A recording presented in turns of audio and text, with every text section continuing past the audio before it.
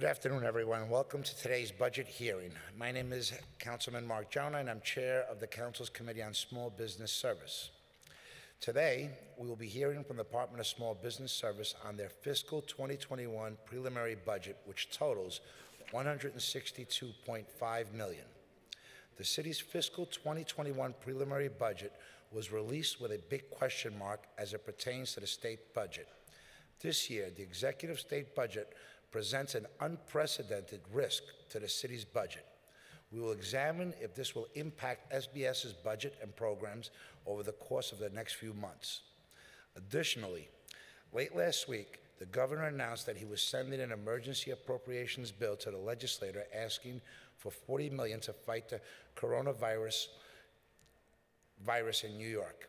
In addition, the city of San Francisco declared a state of emergency. We want to learn about the measures SBS is taking to assist and guide the city's small businesses regarding this matter. Additionally, we would like to hear from SBS. Is it tracking or monitoring the impact of the virus on small business, in particular, the Asian owned businesses and communities, as well as price gouging complaints that we are recently be hearing from? SBS's budget is spread across nine program areas, some which are related to services that SBS provides, while others represent the expense budget of some of the mayoral office and non-city agencies, which makes SBS as a conduit of just a simple pass-through. It is the council's responsibility to ensure that the city's budget is fair, transparent, and accountable to New Yorkers.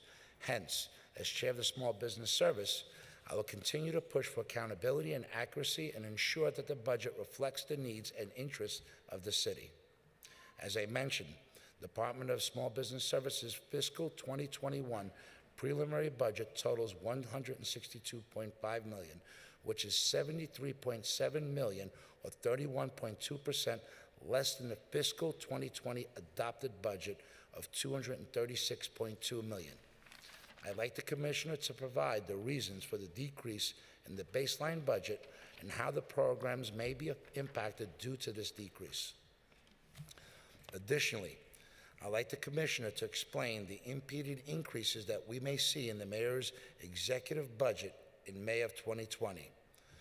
The fiscal 2021 preliminary budget also includes funding for new needs such as the maritime inspections in Governor's Island and a disparity st study to review the availability and contract utilization of firms by industry classification and minority group. I'd like to hear more from SBS on both of these initiatives. Of the department's fiscal 2021 preliminary budget of 162.5 million, 27.9 million or 17% is allocated for personal services to support 301 full-time employees across all divisions, which is 22 positions or approximately 7% less than the headcount at the fiscal 2020 adopted budget.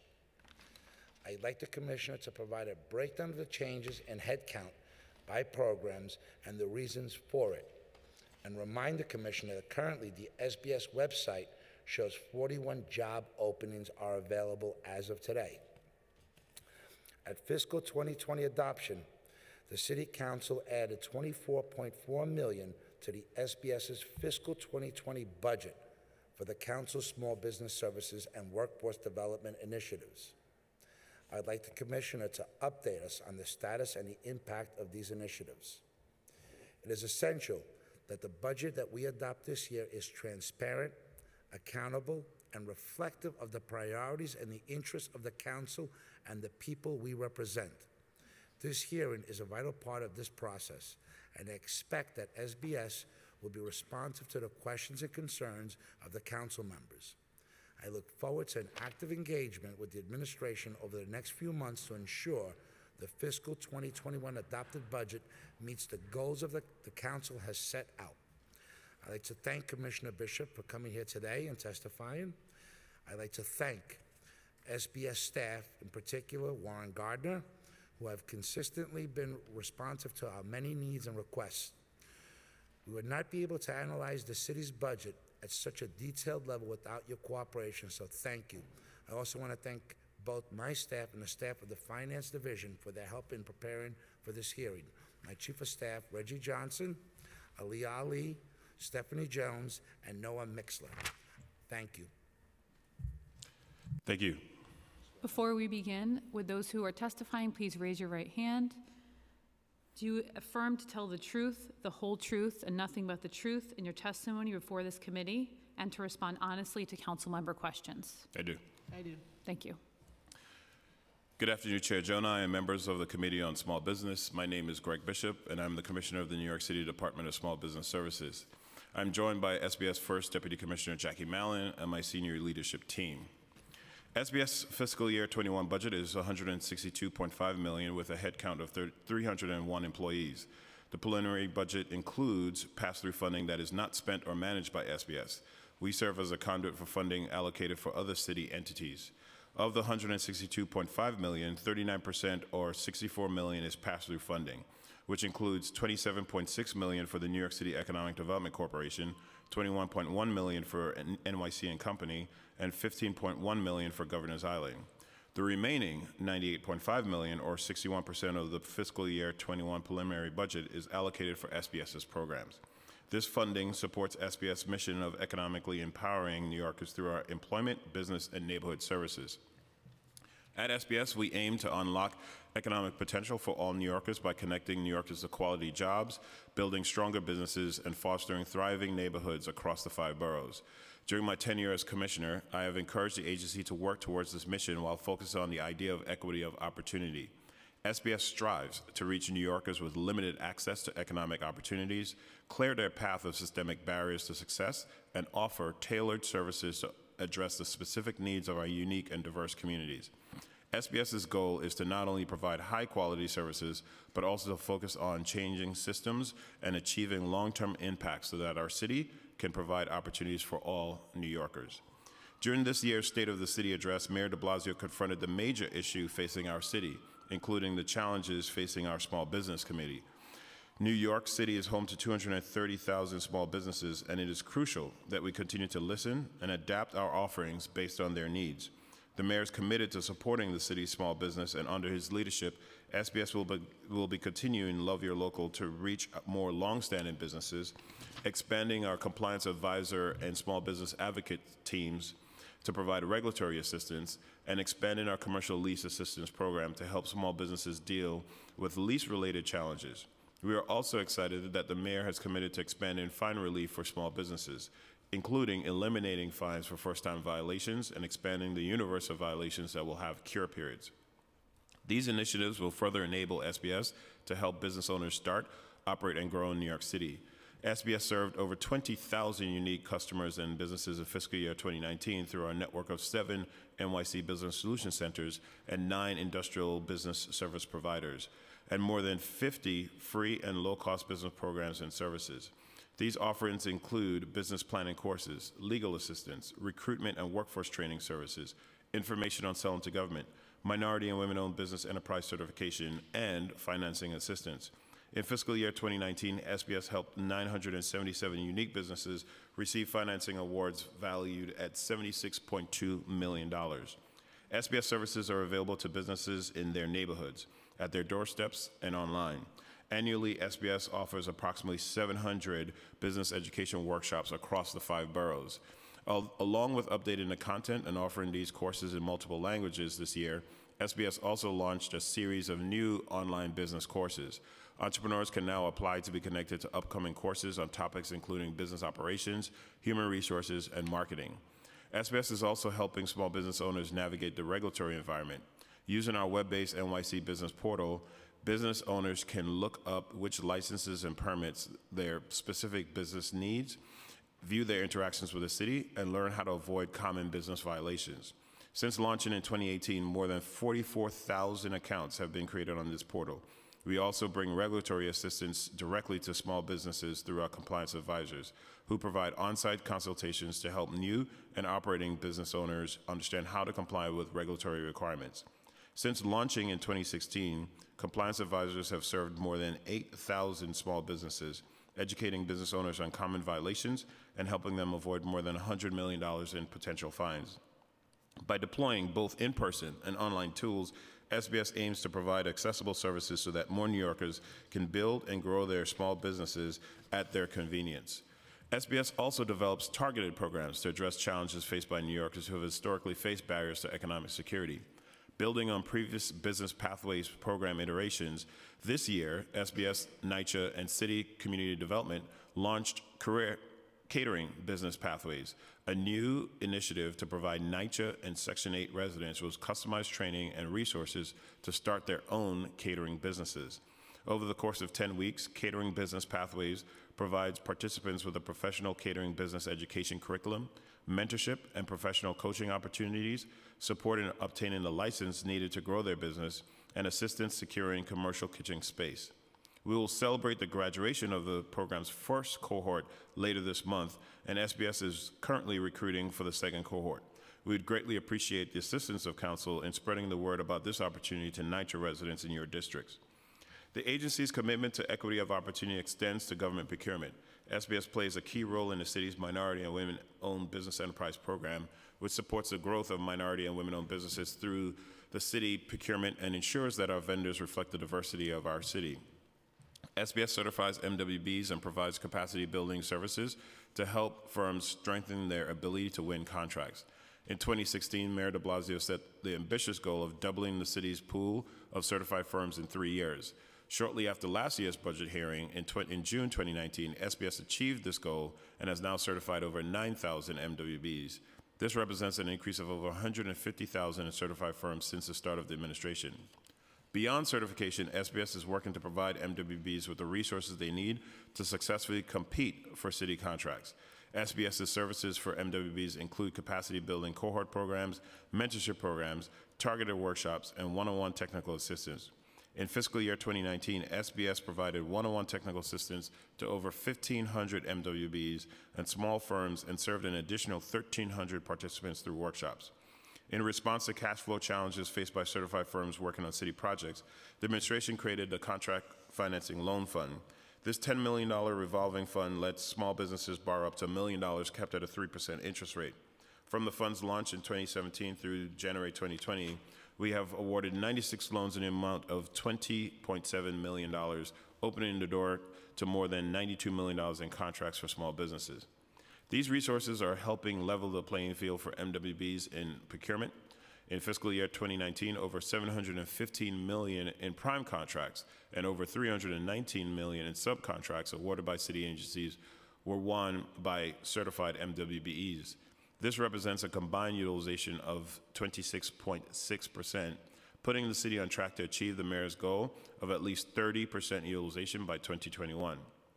This year, alongside advocates, our agency partners, and allies in the state legislature, we successfully advocated for the state to increase the city's authority to make discretionary awards to MWBs again from 150,000 to now 500,000. This higher discretionary threshold will increase MWB's access to more city projects that are larger in scale and higher in contract value, creating even more opportunities for certified MWBs. SBS provides support for New Yorkers to gain new skills and connect to living wage jobs. Our agency focuses on preparing New Yorkers to seize opportunities in growing sectors of our economy. SBS assists job seekers with a wide range of skill levels through an inclusive growth strategy that ensures community members, employers, and education institutions are all aligned to increase the number of local residents prepared for and getting good jobs. Through our network of 18 Workforce One career centers, SBS uh, connects job seekers with employment opportunities, industry informed trainings, and a variety of candidate development services, such as resume support, interview preparation, and job search workshops. In fiscal year 2019, we connected more than 27,000 New Yorkers to employment and enrolled more than 2,000 New Yorkers with the training needed to advance their careers. This year, SBS launched construction site safety training for workers who need it the most. The training opportunity is currently available in English and Spanish at SBS's Workforce One career centers and through organizations across the five boroughs that serve day laborers. In the coming months, the course will be made available in Mandarin, Cantonese, Polish, and Russian. We also developed a small business reimbursement grant to help small business owners keep their workers safe on the job. Through our industry partnerships, SBS works collaboratively with the industry to invest in local talent in sectors including food service, industrial, construction, healthcare, and technology. Industry partnership initiatives that are supported by a budget include job quality programs in home healthcare and efforts to double the number of tech bachelor's degrees awarded from CUNY by 2022 through CUNY 2X Tech. CUNY 2X Tech is investing over $6 million in eight CUNY institutions to update instruction, bring top tech talent, teaching talent to CUNY, offer tech-specific career advising, and provide on-the-job experience for students. Last fall, the city expanded CUNY 2X to five additional colleges, including Brooklyn College, the College of Staten Island, John Jay College of Criminal Justice, Medgar Evers College, and Queens College. These investments will ensure that a more diverse array of New Yorkers have the knowledge, skills, and networks they need to enter and succeed in New York City's growing tech ecosystem. In addition, employers from the industry partnerships are leading the charge on a new way to hire local talent. Through Apprentice NYC, employer partners have hired New Yorkers in positions such as diverse as nurses, computer numerical control machinists, and line cooks, and have provided them with the training and mentoring needed to succeed.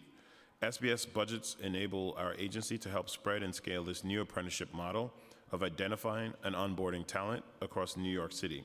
For example, our budget has supported the expansion of our citywide nurse residency to 28 hosp- local hospitals, providing over 1,000 nurses with year-long residencies that include specialized training to bridge the gap between education and practice. The citywide nurse residency program is serving as a national model for bringing together hospitals to support the systemic, systematic change that puts nurses on track to succeed. Using the industry knowledge gained from employers, SBS works with provider partners, including tech boot camps and community based organizations, to create industry informed trainings across multiple career pathways. From bridge trainings to fellowships, SBS provides a variety of entry points and advancement opportunities for New Yorkers with different levels of experience. We work closely with neighborhood community groups to recruit for all our trainings SBS offers across the many sectors we focus on to ensure local residents can easily access these opportunities. In addition to providing high quality training opportunities, SBS is working to ensure our trainings succeed in connecting New Yorkers to career pathways. In fiscal year 2019, the average annual wage for individuals connected to jobs after training was more than $57,000, which is an increase of more than $10,000 on average from the previous years. In order to address the unique challenges faced by New York City's diverse neighborhoods and business communities, SBS relies on the expertise of local, on the ground partners. SBS oversees the largest network of business improvement districts in the country. In fiscal year 2019, New York City's 76 bids served over 93,000 local businesses and invested $167 million in services in neighborhoods across the five boroughs. Our agency provides the bid network and other community development organizations with technical assistance, grant opportunities, and capacity building services that support local initiatives and, and strengthen the connection between our agency and New York City's small businesses. SBS works directly with community partners to identify the needs of local commercial districts and plan targeted solutions through our Commercial District Needs Assessments, or CDNAs. CDNAs identify the strengths, challenges, and opportunities within a commercial corridor to better inform subsequent investments. Through our Neighborhood 360 and Avenue NYC grant programs, SBS has worked with community partners to publish 20 CDNAs to date. These grants provide long-term opportunities for awardees to evaluate community needs, hire a full-time program manager, and implement programming based on the CDNA findings. To date, Neighborhood 360 program has awarded the Neighborhood 360 program has awarded $10 million in grants to 13 community organizations in neighborhoods across every borough. This year, SBS has made an additional 4.5 million in Neighborhood 360 funding available to organizations serving Brownsville, Coney Island, Corona, Flatbush Ditmas Park, and Norwood and Bedford Park. For other qualifying low to moderate income neighborhoods, applications are now open for our Avenue NYC grant program. We would appreciate the council's assistance in ensuring their local community organizations are aware of this opportunity. SBS is committed to serving business owners and job seekers no matter where in the city they are from. To expand SBS reach beyond our centers and network of community partners, our agency conducts outreach throughout the five boroughs. Through the support of council, our Chamber on the Go initiative allows us to send trained business specialists to canvass commercial quarters and connect with business owners. Since launching in December 2015, Chamber on the Go has reached more than 18,000 businesses directly at their doorstep. In 2017, SBS launched an additional outreach tool, our mobile outreach unit, to increase our ability to bring SBS services directly to, to New Yorkers in need. Equipped with classroom space and computers, SBS staff used the mobile outreach unit to provide on site referrals to our free business services, one on one technical assistance with MW certification applications, resources during an emergency, and recruitment events to connect job seekers with employment opportunities. I'm always eager to share the work we do here at SBS and to hear directly from you about the daily realities faced by your constituents. I look forward to the continued partnership of the committee as we work to build a more vibrant and inclusive economy. Thank you, and I will be happy to take your questions.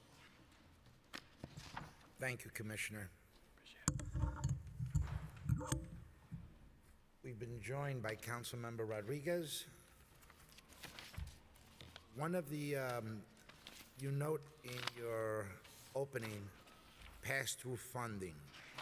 Can you elaborate more on the pass-through, the conduit that SBS acts? The percentage of, I believe it's about 40% with pass-throughs? Sure. So as, as I mentioned in, in the testimony, our preliminary budget is 162.5 million. Uh, about 17% of that, or 27.6 million, uh, is a pass-through to EDC. About 13% of that, or 21.1 million, is a pass-through to NYC and Company, and 9% of that, uh, 15.1 million, is a pass-through for Governor's Island. And as a conduit, is there any responsibility by your department to oversee and gauge um, the use of the money, how effective is, if any of these programs are working or not, where there could be improvement? So, so our, our responsibility is really uh, uh, to serve as a conduit. Uh, the oversight of uh, the effective use of those dollars uh, rests on the Deputy Mayor of Economic Development. Um, we also, for some of these agencies, for example, EDC, uh, they also, um, are, they, oversight is actually with council, um, and I believe EDC has a hearing next week. You know, we've gone through this so many times, and when we ask some of these agencies or uh, the funding to pass through, they always refer back to you. So when we talk to SBS and they say it's about the bus program, we speak to Ed, uh, the Board of Ed, they say, well, ask SBS. And it seems to go back and forth. And it's kind of hard to hit it right in the middle so we can get an, an answer as to who's responsible for the oversight. So I could clear that up really Thank you. quickly. So for the bus program, uh, we are the financial uh, entity that uh, uh awards the grants uh, to participants. So if there's questions about dollars dispersed to the buses, the, bu- the bus companies that participate in the program, we can answer those questions. If it's any other questions about policy, then we would have to defer to the Office of Labor Relations um, and the Department of, of Education. So then let's continue with the bus program. A New York City School Bus Grant Program, right? It's employee protection provision. In this fiscal 2021 preliminary budget plan, it allocates 18.5 million in the city's funds for fiscal 2020 to support the employment of experienced school bus workers impacted by changes in the Department of Education's contracts for school bus transportation. Why does the preliminary budget only have partial funding for the buses program? This is a roughly $40 million year over year, $40 million grant. And in this budget, we only see 18.5 million being allocated. So the numbers that you're seeing um, is uh, reflective of the fact that this is a reimbursable program. Uh, so the dollars that you're seeing is to cover the months that uh, the school buses, the, the school uh, bus companies have operated. Um, obviously, we have, and we will continue to work uh, with the administration and the budget office uh, for to focus on the future. Uh, as you know, uh, the governor vetoed uh, the bill that would have made this program obsolete. so therefore, we're working with the Office of Labor Relations to find other solutions. but in the meantime, we still have to continue to administer the program. Right, but correct me if I'm wrong, last year, it was 41.8 million in fiscal 2019 for the school bus program? No, that is incorrect. Uh, So last year, uh, for the school year, it was 36.1 million. Uh, In total, uh, from the beginning of the program, uh, the first year was 28 million, uh, the second year was 32 million, uh, about 32 million. Uh, The third year was 36, um, and it has stabilized at 36 for the past three years. So if it's stabilized at 36 for the past three years, the number that we're looking in this preliminary budget is 18.5. Did And as I anything said- change? Did the program end? No, as I said, the, the numbers, the, the dollars that we have is to cover the existing, uh, the fact that the, the program starts at the beginning of the school year, uh, and it's reimbursable. Uh, so the, the process is that the Department of Education uh, works with the school bus uh, company to make sure that the companies, the individuals that we're reimbursing are actually eligible for the program. The Department of Education will then tell us uh, what and who we can, um, the number of employees that we can reimburse. Uh, So therefore, the numbers that you're seeing is based on the start of the school year up to uh, March 2020. So between March 2020 and the final executive budget, I'm going to expect a change in numbers just based on the last three executive budgets. Based on the fact that the governor vetoed uh, the bill that would have made this program obsolete, uh, I would expect to see additional funding allocated for this program. So why not put it in from the very beginning? We did it last year. So again, uh, the expectation was that this bill that the governor vetoed would have made this program obsolete. Uh, So now we're working with the Office of Labor Relations to come up with uh, other solutions. Uh, Remember, the, the intent of this program is to ensure that we have experienced drivers uh, that are handling our kids. I think, uh, and we've had a number of hearings, um, uh, budget hearings, where I've talked about this, um, and we've had other drivers, et cetera, come and talk about this program. Uh, we want to make sure that the, the individual behind the wheel of our, our, our school bus uh, is experienced because they are transporting the most precious cargo. Um, and of course, um, you know, our job is to ensure that uh, we uh, issue the reimbursements uh, as, as quickly uh, as possible uh, to the companies that are participating. Thank you, Commissioner, but I just want to remind you that it's only one company that's benefiting from this grant, and there are several companies out there that we hold to the same standard, that we want to make sure that they are uh, qualified to drive our most valuable, treasured uh, citizens, our future. I would say that there's one company that chose to participate in the program. Thank, thank you. I'm sure that the other companies are going to love to hear that, and they'll be applying for those grants, uh, should the funding be And, available. but and we welcome them to that, uh, apply as well. That won't be the case. Um, We've been joined by uh, Councilmember uh, Rosenthal. Commissioner, the governor's proposed 2021 executive budget includes several proposals that would de- de- de- detrimentally impact the city's budget. Does SBS expect a cut in the budget, and does the agency have a contingency plan if the potential state budget cuts leads to decrease in the city's funding for this agency? So the first guiding principle is that we always want to maintain the same level of service uh, delivery uh, for our constituents. Uh, We are working with a budget office. I believe we have uh, some uh, budget targets of um, a- budget reduction of 1%, um, which we are working uh, with uh, OMB uh, to ensure the continuity of services, but also meeting uh, those uh, targets. Thank you. As you heard, uh, with the uh, coronavirus, last week the governor announced uh, that he would send the emergency appropriations bill to the legislator. What measures do we, the agency, have in place, and there are, are there a dollar figure associated with the preparedness efforts?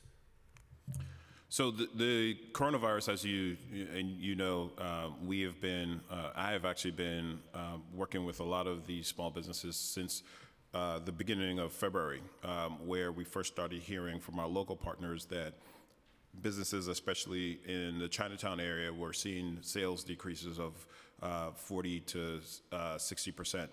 Uh, we have mobilized uh, not only our agency, but several agencies in terms of ensuring New Yorkers that they could continue to support those businesses. The mayor was out in Flushing as a show of support.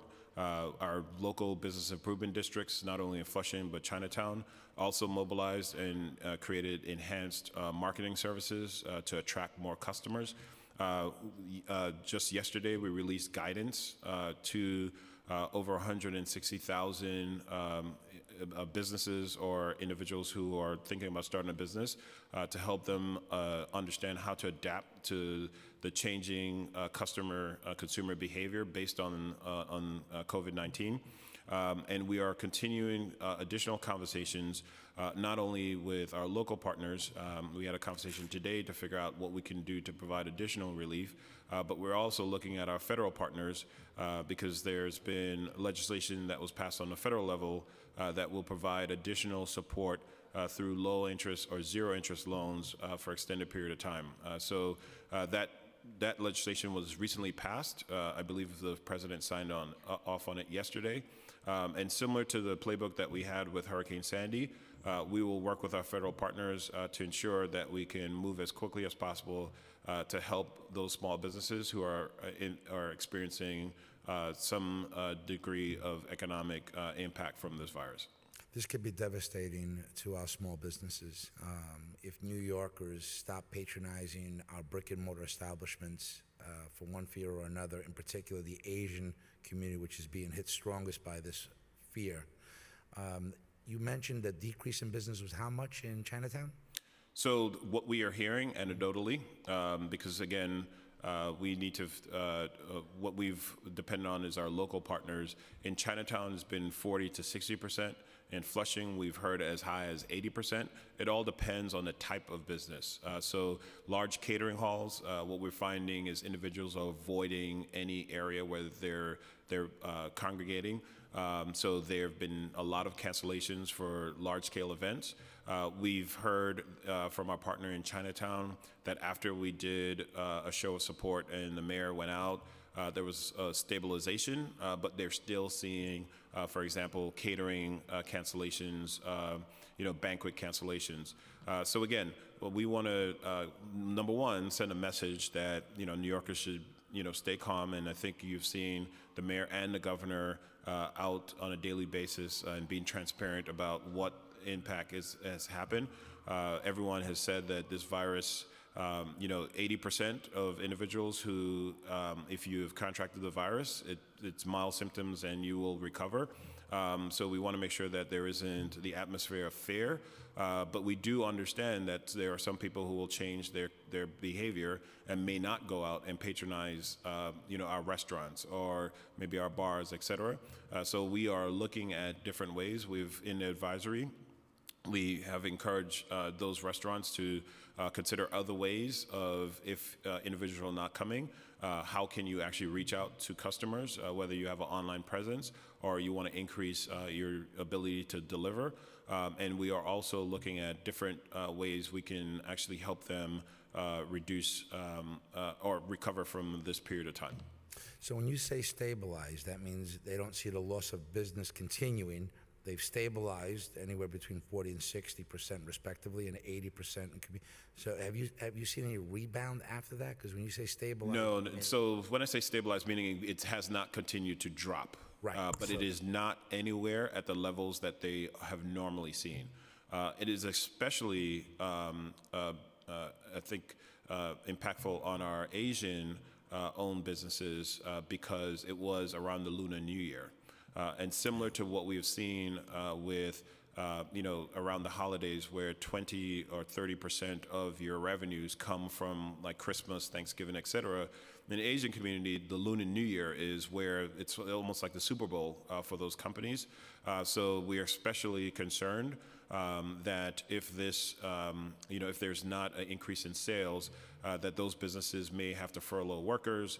Uh, there may be other uh, challenges. Uh, so again, we want to continue sending the message of you know telling New Yorkers to keep calm, uh, support our small businesses, but we also are working with not only with our local, um, with the mayor's office uh, and with our other agencies, but also with our federal partners uh, to come up with different um, ways that we can help uh, these small businesses. It's, it- it's a very fluid situation.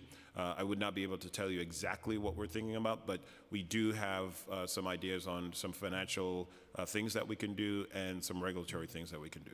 That's great. And I just want to extend an offer to you, Commissioner. Maybe uh, we can continue uh, sending that message of positive uh, to the rest of New York by patronizing local restaurants, and I will be more than happy to go on tour with you as we, Are you inviting me to dinner? As long as you're paying, absolutely. Um, I would be more than happy uh, to join you uh, if you're paying for it. If not, uh, we'll- we'll let Warren up the tab. I'd be happy to do But it would that. be my pleasure to do, actually go out there and reassure New Yorkers that it is safe, that uh, we should continue life as normal. Um, And the 301 staff members that uh, SBS has uh, could possibly join us uh, as we hold events at those catering halls uh, that are seeing such a decrease in business. But looking forward to figuring out a plan with you. Happy to, to, to go out there in the community with you. Uh, Councilmember Rosenthal, I believe you have a question?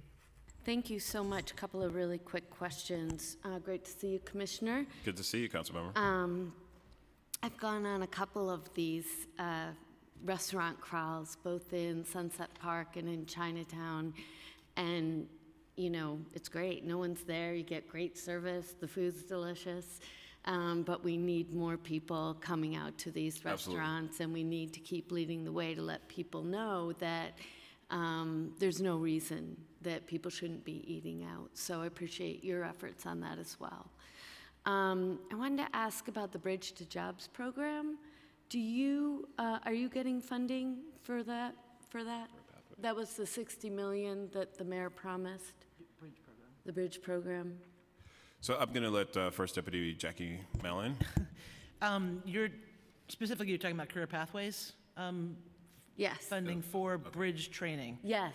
Um, We, we get, uh, we have gotten career pathways for occupational skills training, and we have developed bridge training with, with, uh, with that funding, but I think it's probably categorized differently in the career pathways uh, report, if that's what you're referring to. And how much money do you get for that? We have Or have you um, spent? about 7 million Seven since million's 16. been allocated? Yeah, no, over, well, each year, annually, since 2016. Say that one more time. About 7 million annually since 2016. 16, right? Yeah. Okay, and career pathways? That is, that's what I'm talking about. That is Oh, career okay. pathways. Which was the other one you were talking about? Um, I, I think, I think, I think, if I'm, if I'm guessing. right, Okay. No, I no, think no, both of them fine. are, you're referring to are from the career pathways, um, uh, strategy that the mayor put out in 2016. There were- Right. There were two things, and I'm not gonna remember everything, but X number of dollars increase in occupational skills training. Oh, I see. That's That us, and X number of, of dollars for bridge training. Got it. And is that stable? Is there any sense that will come down, or is there a possibility it'll go up? Well, Sorry. Good. yeah, for career pathways, we're, we're, we are continuing conversations with uh, OMB. Um, it, in our preliminary budget, uh, it is not uh, funded for the next, next fiscal year. I'm sorry, it's zeroed out? That 7 million is zeroed out? Correct. Uh, But last year, it, it, we were in the same situation, um, and it was funded, so we're optimistic that uh, we'll continue the conversation with our budget office. Um, So it was only put back in because the city council made it part of a funding deal, but only a one-year? Like, why wouldn't the, why wouldn't, has that program been successful? The program has absolutely been successful. Uh, I, I think, I don't know if you were here when I was reading my testimony. My apologies. But our, uh, the trainings that are funded by Career Pathways, whether it's our uh, nurse and residency programs or our uh, com- uh, computer numerical control, this is for industrial and manufacturing businesses, or even our line cuts, we've seen, or even our, our tech training, uh, we've seen the average wage uh, increase by $10,000 to $57,000. Wow. Uh, so individuals going through these programs uh, are, are coming out with decent wages. Um, so they've absolutely been successful. Um, I don't know about the deal that you were talking about. I think Jackie may have. Uh, Well, I mean, expand that. fundamentally, I'm just curious. That sounds like a path to the middle class. Yeah, so And so, given this mayor is all about, you know, Tale of Two Cities and trying to lift up lower income people. I don't understand why it wouldn't be baselined if it's had such great success. I mean, if you were going to say, you know, ah, it's really meh, that's one thing, but you're saying it's very successful, why wouldn't it be in the budget baselined? Um, As, as the Commissioner said, I would continue to, to talk with OMB. To answer the question you had, the like why, it was originally planned to be a three-year thing, and, and then because it was so successful, it was extended last year, and we expect the same this year as well. Why wouldn't it be baselined? Is it something that you expect would only be successful for a year or two? Or, I mean, why wouldn't this fundamentally be a, a program you would, Right. No, we're, we're talking to the budget office about that. Um, But then also remember that we're just part of overall strategy, workforce strategy for the city. Um, So one of the conversations we're having uh, is just overall, um, you know, working with the Office of Workforce Development, uh, working with our budget office is what's the right strategy for not only SBS, but all the other workforce, uh, all the other agencies that have a workforce component to it. are some of the other agencies more successful than your program? I'm, I'm I- I just, don't I know how mean, to answer even that if the question. mayor wanted to carve out this piece and say, let's just make sure, you know, we're checking on all the different bridge programs, workforce development programs, some are better than others, is this, are your programs just sort of meh, or are they great and should continue? I would say they're great and they should continue, and that's the conversations that we're having right now with the budget office. Why would it be a budget decision and not a policy decision?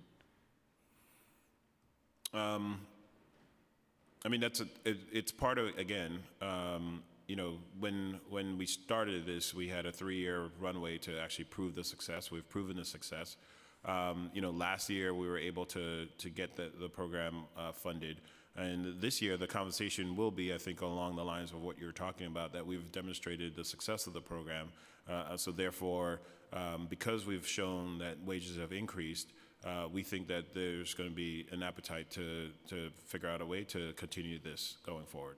Into perpetuity? Or just, for a- is it Well, going to be a one-year every Yeah. time? I or mean, it, it's our hope that it will be in perpetuity. Baselined? Correct. Okay, great. So that's something the administration wants. It's something that we will continue to talk to the budget office about. Sorry to bust your chops. Um, It's just such a great program. I would, I'm just surprised the mayor hasn't um, baselined it. And then I want to look at some of your headcount changes, um, noticing a drop of about 22 positions. In fact, um, 13 are from Career Pathway. Oh, is that just because the program's over?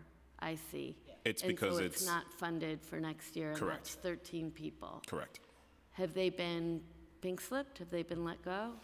No, uh, we we have funding up until June 30th. Okay. J- Green Jobs Corps, is that the same thing? Waiting to see if that'll be funded again? I see two positions down.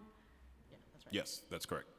CUNY Two Times Tech 100K Jobs Program, same thing? No. Center for Economic Opportunity Initiatives, two staff people. Um, on the, the CUNY 2X, we, that's how we planned it, and, and I, so we- we're, we're good there. Um, Center for Economic, Economic Opportunity, this is how it works every year. They, it- their, funding comes in at adoption for whatever reason. So, and we expect it again to happen this year, because it has every year. But I mean, again, okay, I'll, the point stands. If it happens every year, I don't understand why it's not baselined. Um, you know, the mayor has a chance to put it in November, January. Is it not successful? It it is, um, The CEO initiatives? Yes, Is it not such a much? Or is it a great one? it, it's a great one. Okay. Um, and where are you on the uh, worker co-op staff? Is that, how's that going along? so we have. You have um, a staffer for that? We have a staffer for that. I actually had a really good conversation with her uh, actually this week Good. about you know uh, economic justice. Um, and again, we, we continue to uh, manage these programs, and, um, and we've seen the, the gains from uh, the council's investment. Yeah, but how many jobs, um, do you have that? Jobs uh, created through the training programs?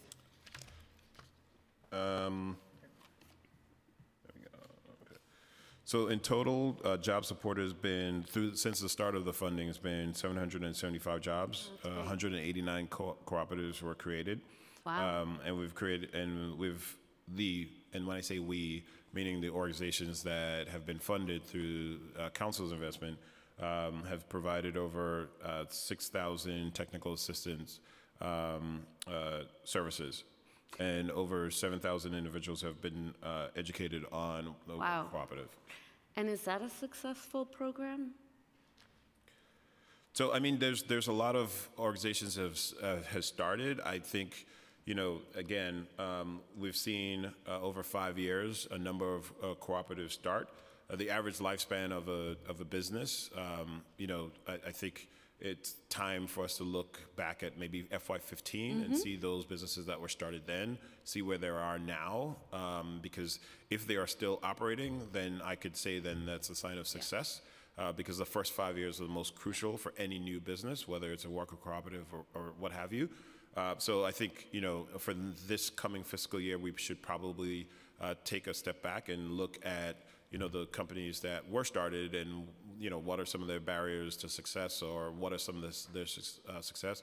We've had a lot of good uh, conversation with the Center for Family Life uh, because they have a great model in terms of a franchise, Yeah. um, which I really like.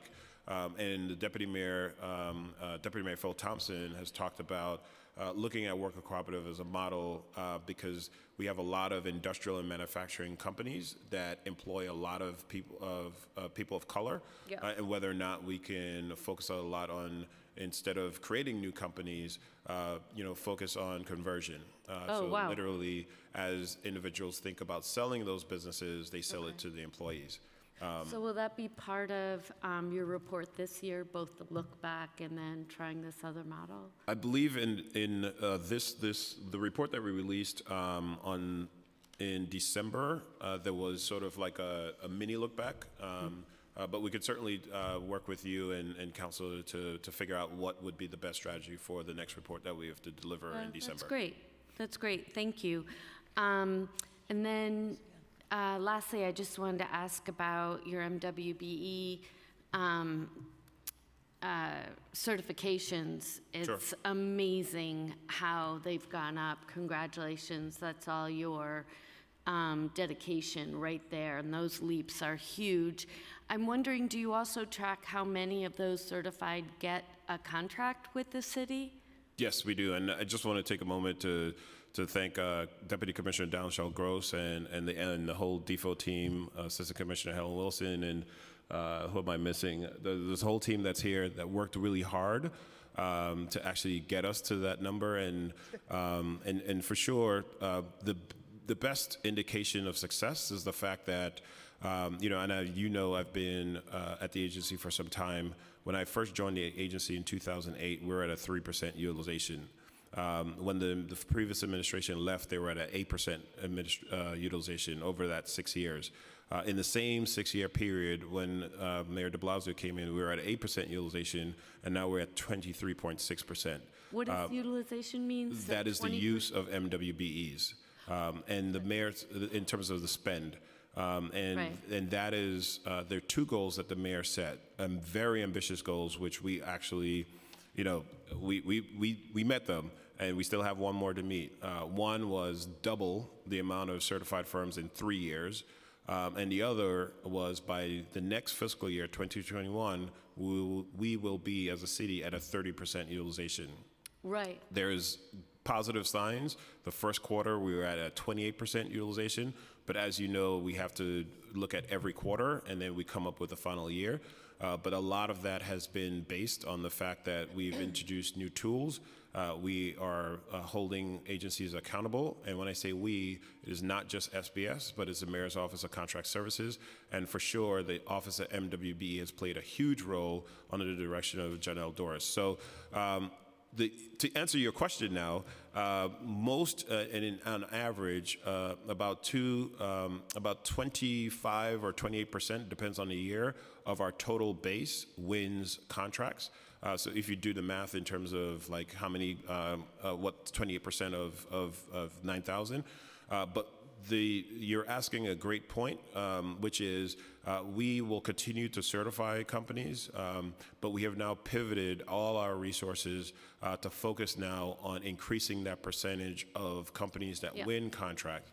Um, we do have a great uh, statistics where uh, individuals uh, who have used any of our services, whether it's technical assistance, whether it's our bond readiness program, whether it's um, just even connecting with our staff uh, in DEFO, uh, two thirds of the winners of contracts uh, have used one of our services. Oh, wow, that's Um, great. so we're very proud of that, um, and we will. Uh, and uh, you know, I'm thankful because uh, the mayor has put in a lot of resources uh, for us to get to this point, um, and we will continue to focus on building the capacity.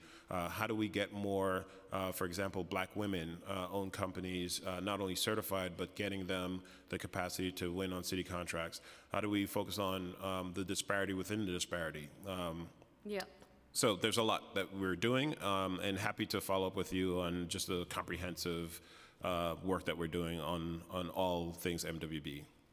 That's really exciting. I mean, I guess I'll finish one, too quick. Um, uh, that's very exciting. I guess what I would want to know is, as you've seen this increase, like, is it the same base number of companies that are getting MWB? Yep. Getting contracts, or can you say of the new ones each year, you know, within three years, they get a contract? Yeah, So that's that a, kind of level of, you know, yeah, that's a great question, um, and that is something that we are, are monitoring because we do see some of the same repeat uh, companies. Um, One of the challenges as well is that if you think about the fact that companies that have the capacity to bid on city contracts, uh, they're in demand. So not only are they in demand by the city of New York, but they're in demand by the Port Authority uh, for all the work that's happening in, J, you know, JFK and LaGuardia. Uh, they're in demand by the School Construction Authority. Uh, they're in demand by the state of New York. Um, so we need to build a, a larger portfolio of companies that not only have the capacity but can do that work. Uh, so we have a strategy to get and um, attract more companies into the, into the portfolio that, that can actually uh, work on those city contracts. I will tell you that the fact that we have and agencies have discretion, and uh, that is thanks to the, the state legislature legislation that was passed. Uh, we are seeing new companies uh, that are benefiting from that because now agencies have the ability to try uh, companies uh, that may not have been able to, uh, you know, be responsive before. Um, and we're hearing a lot from some of the agencies um, that this method is actually allowing them to, to find new companies to, to procure with. Mazel tov. I guess I would just, the last thing, just sort of wonder if there's, um, if you, like, whatever the dollar investment is in, in the MWBE program, if you compare that to the dollar investment in career pathways and sort of think about, you know, um, holistically how we both get these companies, you know, more business, but also make sure that um, we're helping to lift wages. Um, and I don't know if you could do that sort of side-by-side analysis or encourage your MWBEs to be hiring um, people through the career Absolutely. path, you know, Yep. some sort of Yep. connection. It strikes me that they are equally valid and important programs. And, um, you know, I think um, we need to not take our eye off the ball Yeah, you're, that. you're making an excellent point. Thank you. Um, and, uh, you know, for the record, uh, most minority and women-owned businesses, when they hire, they hire within their communities. Um, so they're the largest hiring of people of color, for women, et cetera. Um, so uh, the Department of Defense actually has a formula uh, that we've seen uh, where, because we also run a procurement technical assistance center for uh, the federal government to help businesses understand how to sell to the federal government. Um, and um, using that formula based on the dollar value of contracts, they can predict the amount of jobs created, uh, which is why it's so important for us to continue investing in the MWB program.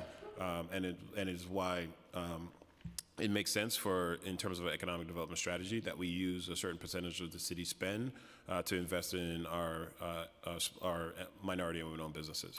I mean, I, what I'm trying to say, I agree with you a thousand percent. My guess is in the Career Pathways program, Yep, we're I got it. talking about a similar population, similar demographic. Yep. and We want to make sure we're lifting all boats regardless of the venue. Absolutely. Thank you so much, Commissioner, and to your staff. It's, you know, a great department. Thank Thank you you. for everything. Thank you, Councilwoman.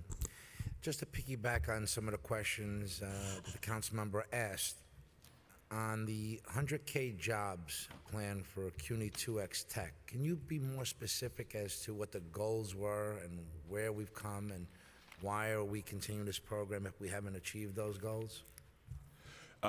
So I'm, I'm not sure when you say we haven't achieved those goals. Uh, As you know, the, the 100K jobs plan uh, is a comprehensive plan uh, that the mayor announced.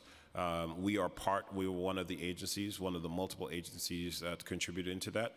Uh, So the work that I talked about in terms of what SBS is responsible for, uh, the Apprentice NYC work, uh, the, you know, the thousand uh, nurses who have gone through our apprenticeship program, uh, individuals who have gone through our tech training program, our, our food and beverage training program, they all feed into the 100K jobs um, goal.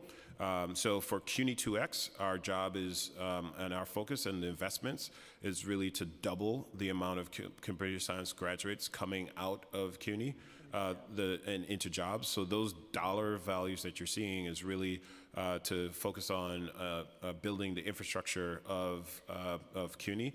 Um, so, for example, um, and the way we, we got to that was the tech companies, we brought them together with our academic presidents. Uh, so these are the presidents from the universities. Um, and the tech companies were able to describe why uh, CUNY students were not being hired. Um, and the academic institutions were able to tell us what some of the deficiencies were. Uh, so some of those dollars go into uh, not only getting uh, staff um, uh, who are more knowledgeable with the current tech training, uh, but also to help with, um, you know, uh, internships, et cetera. Uh, I can, uh, uh, Jackie Mallon can continue elaborating on CUNY 2X. Um, I just want to clarify your question. I think, because I think you said if it's over, it didn't work. It's not over, actually. We're, we're only in year three. It's a, it's a, it's a five-year initiative. Um, So the, the staff that we had dedicated, we needed uh, more staff to get it started. But now, we planned it so that once it was up, we didn't, we didn't need the staff continuously. That's, if, if that's what you're asking about? A little bit about. Ok- okay. A quick update, where we Okay. are, what was the goal? Okay. uh, Because I'm getting conflicting information, meaning that I have a, rep- in Ma, in March of 2019, um, the mayor responded with, um, along the lines of, it's impractical for the city to track specific jobs created. So if there was a, 100K. um, the estimate is more of a guesswork than actually be able to track these jobs with the intent of 100,000 new tech jobs. And you mentioned some sectors there that I don't know if that was part of the program. Food? I, I thought the whole initiative was tech-heavy. Uh, It's a, it's a combination. Yeah. Um, But let me answer your question on, on CUNY 2X for, a s- for a second. Uh, The initiative was literally to double the number of, of, as the commissioner said, of computer science students from CUNY into tech jobs. Where are we? So it, it- it's a, it's an initiative that involves, um, I think we have eight schools, uh, um, eight colleges uh, so far. They're at different phases. Uh, So to date, only, we're wrapping up year uh, three, I think, f- for two of the schools. And so far, so, so many are just starting.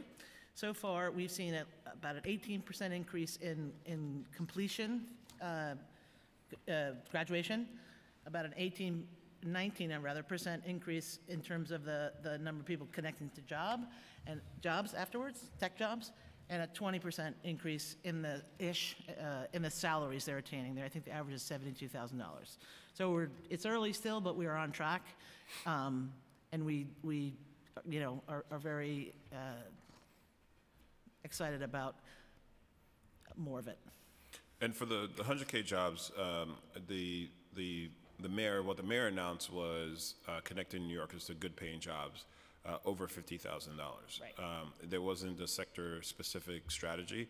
There was definitely uh, a focus on um, the actual income.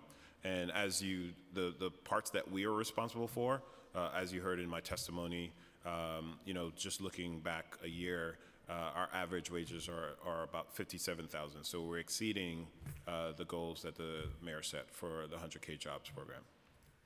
I'm looking forward to following up on that as the progress is being made, and um, I hope we can hit those goals of, that were measured.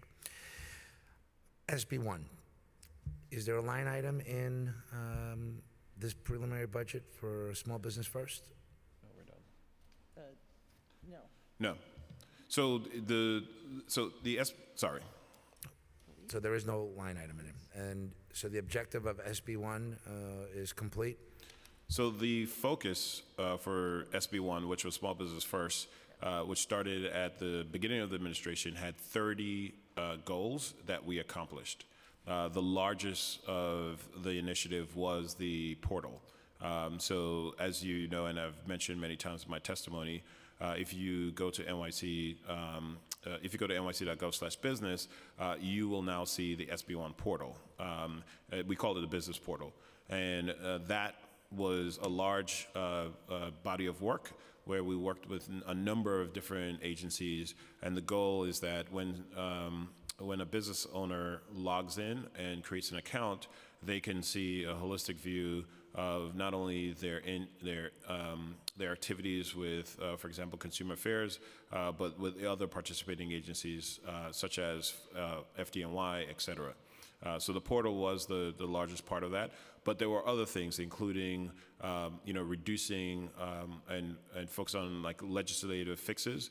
Uh, so, for example, uh, with range hoods, uh, we were able to, and we worked with council to introduce legislation uh, to eliminate the back and forth between fire and DOB.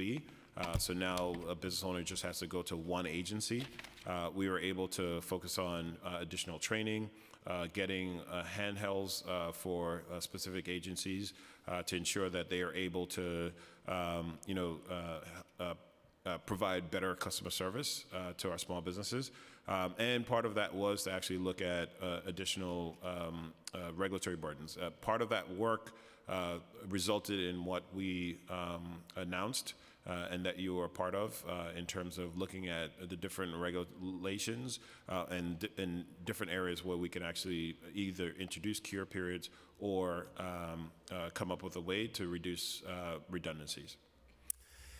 Commissioner, and I'm not sure, I thought SB, Small Business First, the immediate initiative was to get rid of old outdated rules and regulations, make it less, take the bureaucracy out of navigation. Um, We've gone through this so many times, um, and recently I, we did uh, announce alongside of the mayor, uh, we're looking at certain violations that will not, will come with a cure period rather than a fine.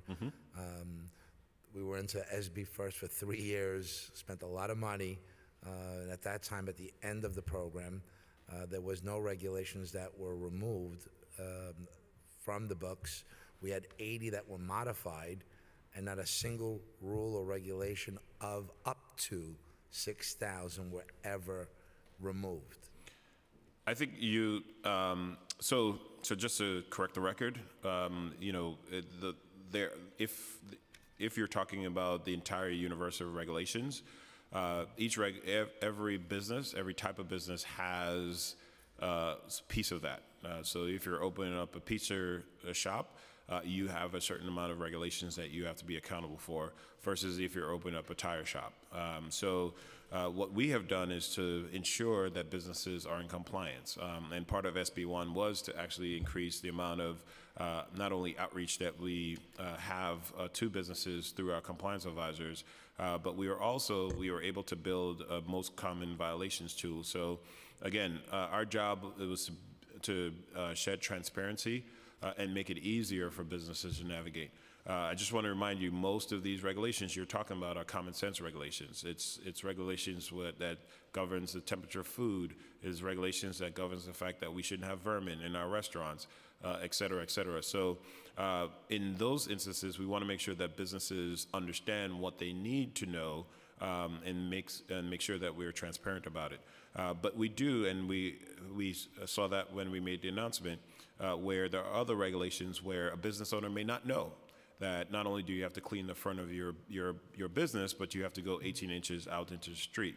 Uh, so we have decided that we're going to turn that into a curable violation, uh, and we continue to look. So work, each one of those violations now will be curable, so if you have a dirty sidewalk, we'll advise you that your sidewalk and 18 inches into the street is dirty, we'll give you a not- cure period, or is it's- it gonna be a one-time notice moving forward? So the, the, the goal is, is that, um, and if you remember, because we still want to make sure that our streets are clean. Um, so if a business owner, um, is, um, it has a dirty sidewalk, they will be issued a violation, but they can clean and demonstrate that they've cured that violation, and therefore they don't have to pay. Um, so, so we, so we are, um, so we are working with the different agencies uh, to figure out the, the best way to implement, uh, because we have a certain number of, um, um, a, a certain amount of regulations that we identified um, uh, that we are now working with the agencies uh, to make sure that they're effective. The cure period is effective uh, by no, uh, by the fall.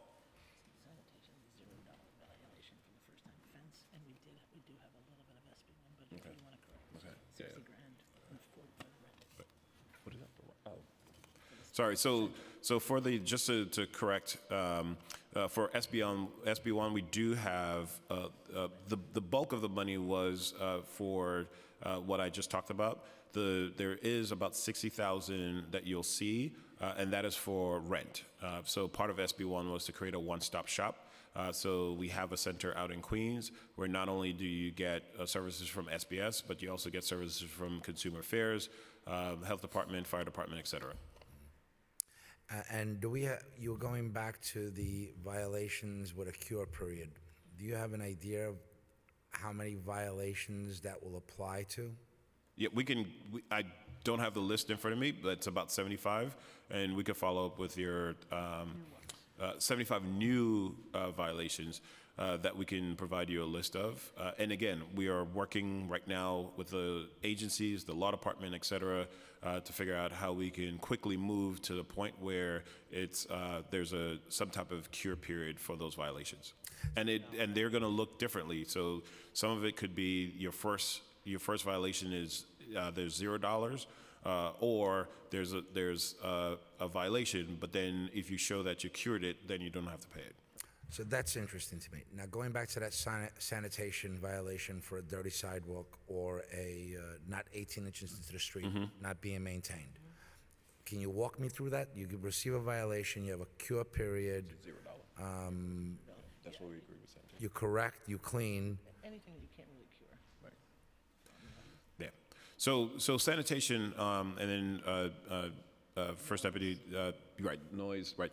First Deputy, uh, Jackie Mallon, uh, Deputy Commissioner Jackie Mallon could, uh, add a little bit to this. But for sanitation, for example, uh, if an inspector goes out, sees that there's a dirty, dirty sidewalk, um, that first violation is actually a zero dollar, uh, violation. That's the education period.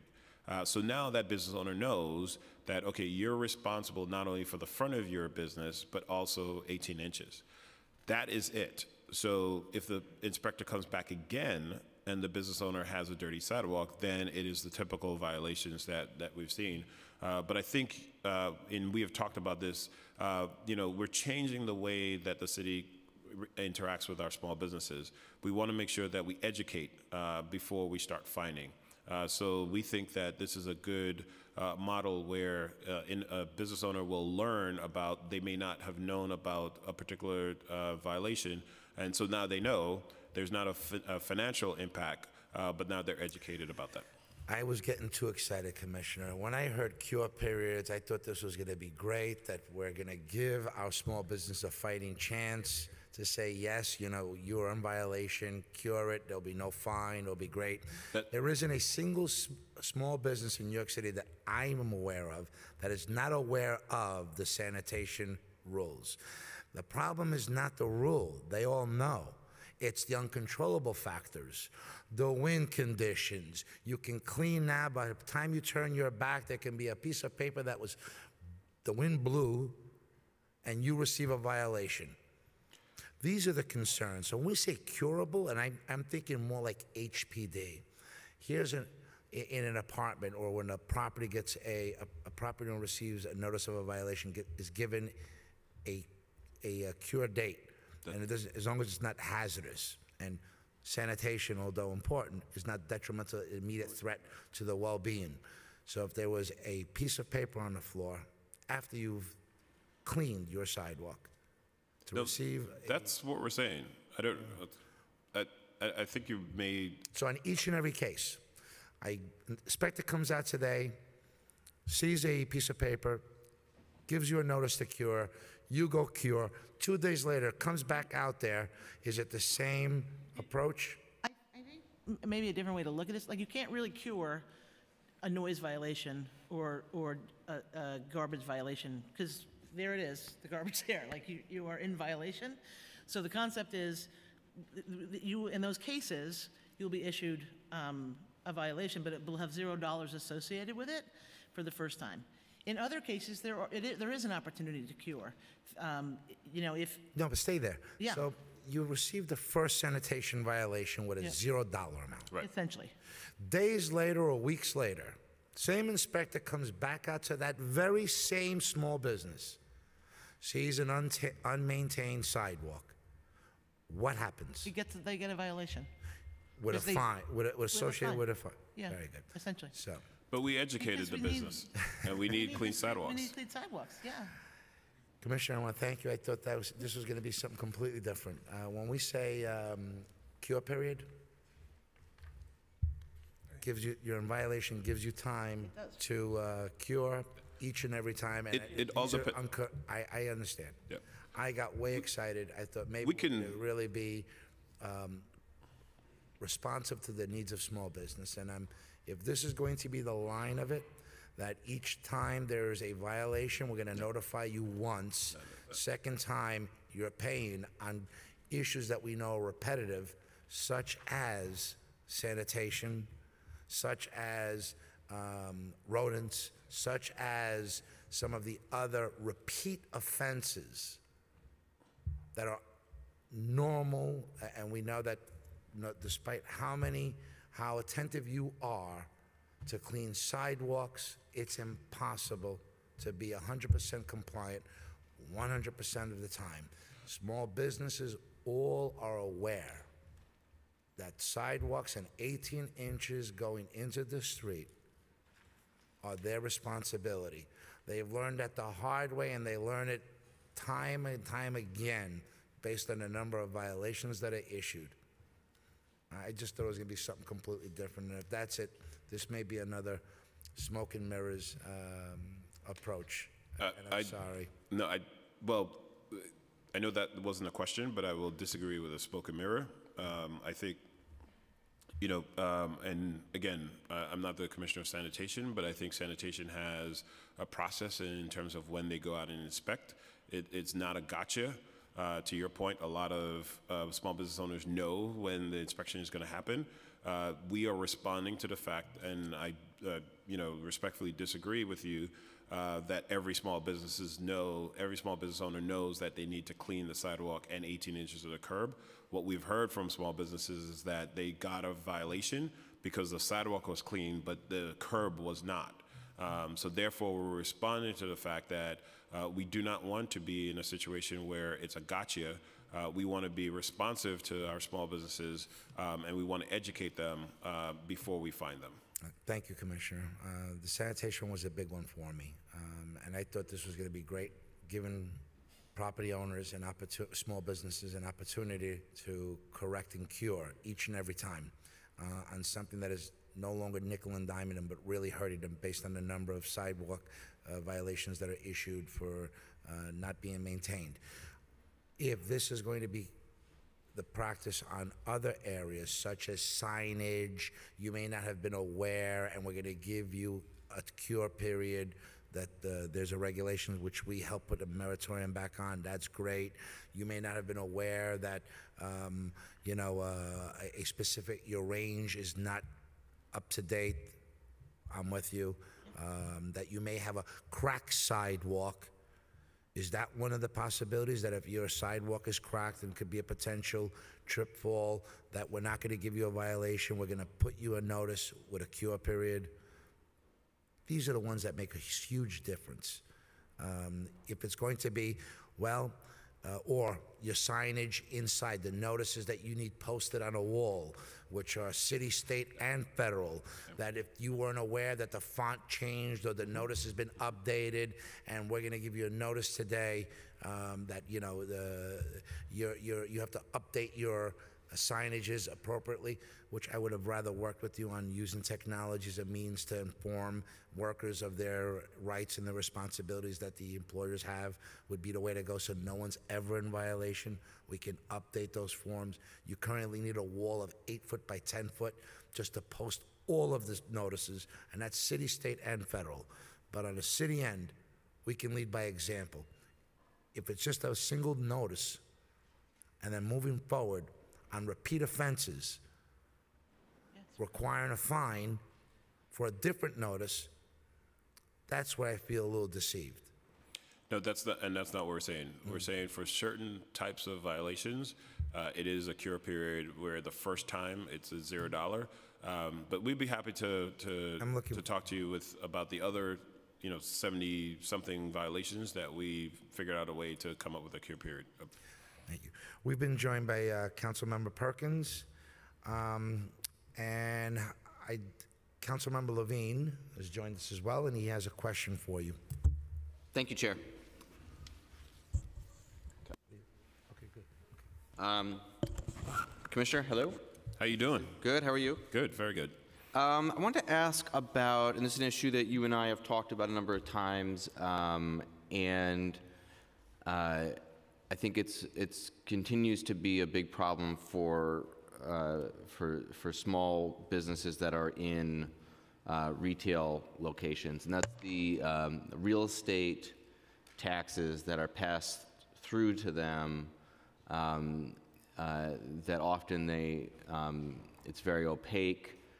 Um, and we've seen increases, um, as you've heard in my district, um, of something like seventy or eighty thousand dollars over a five or six year period, from about twenty thousand dollars to hundred thousand dollars, or somewhere thereabouts in a you know relatively short period of time. Um, Can you speak to what, how SBS is approaching this issue writ large?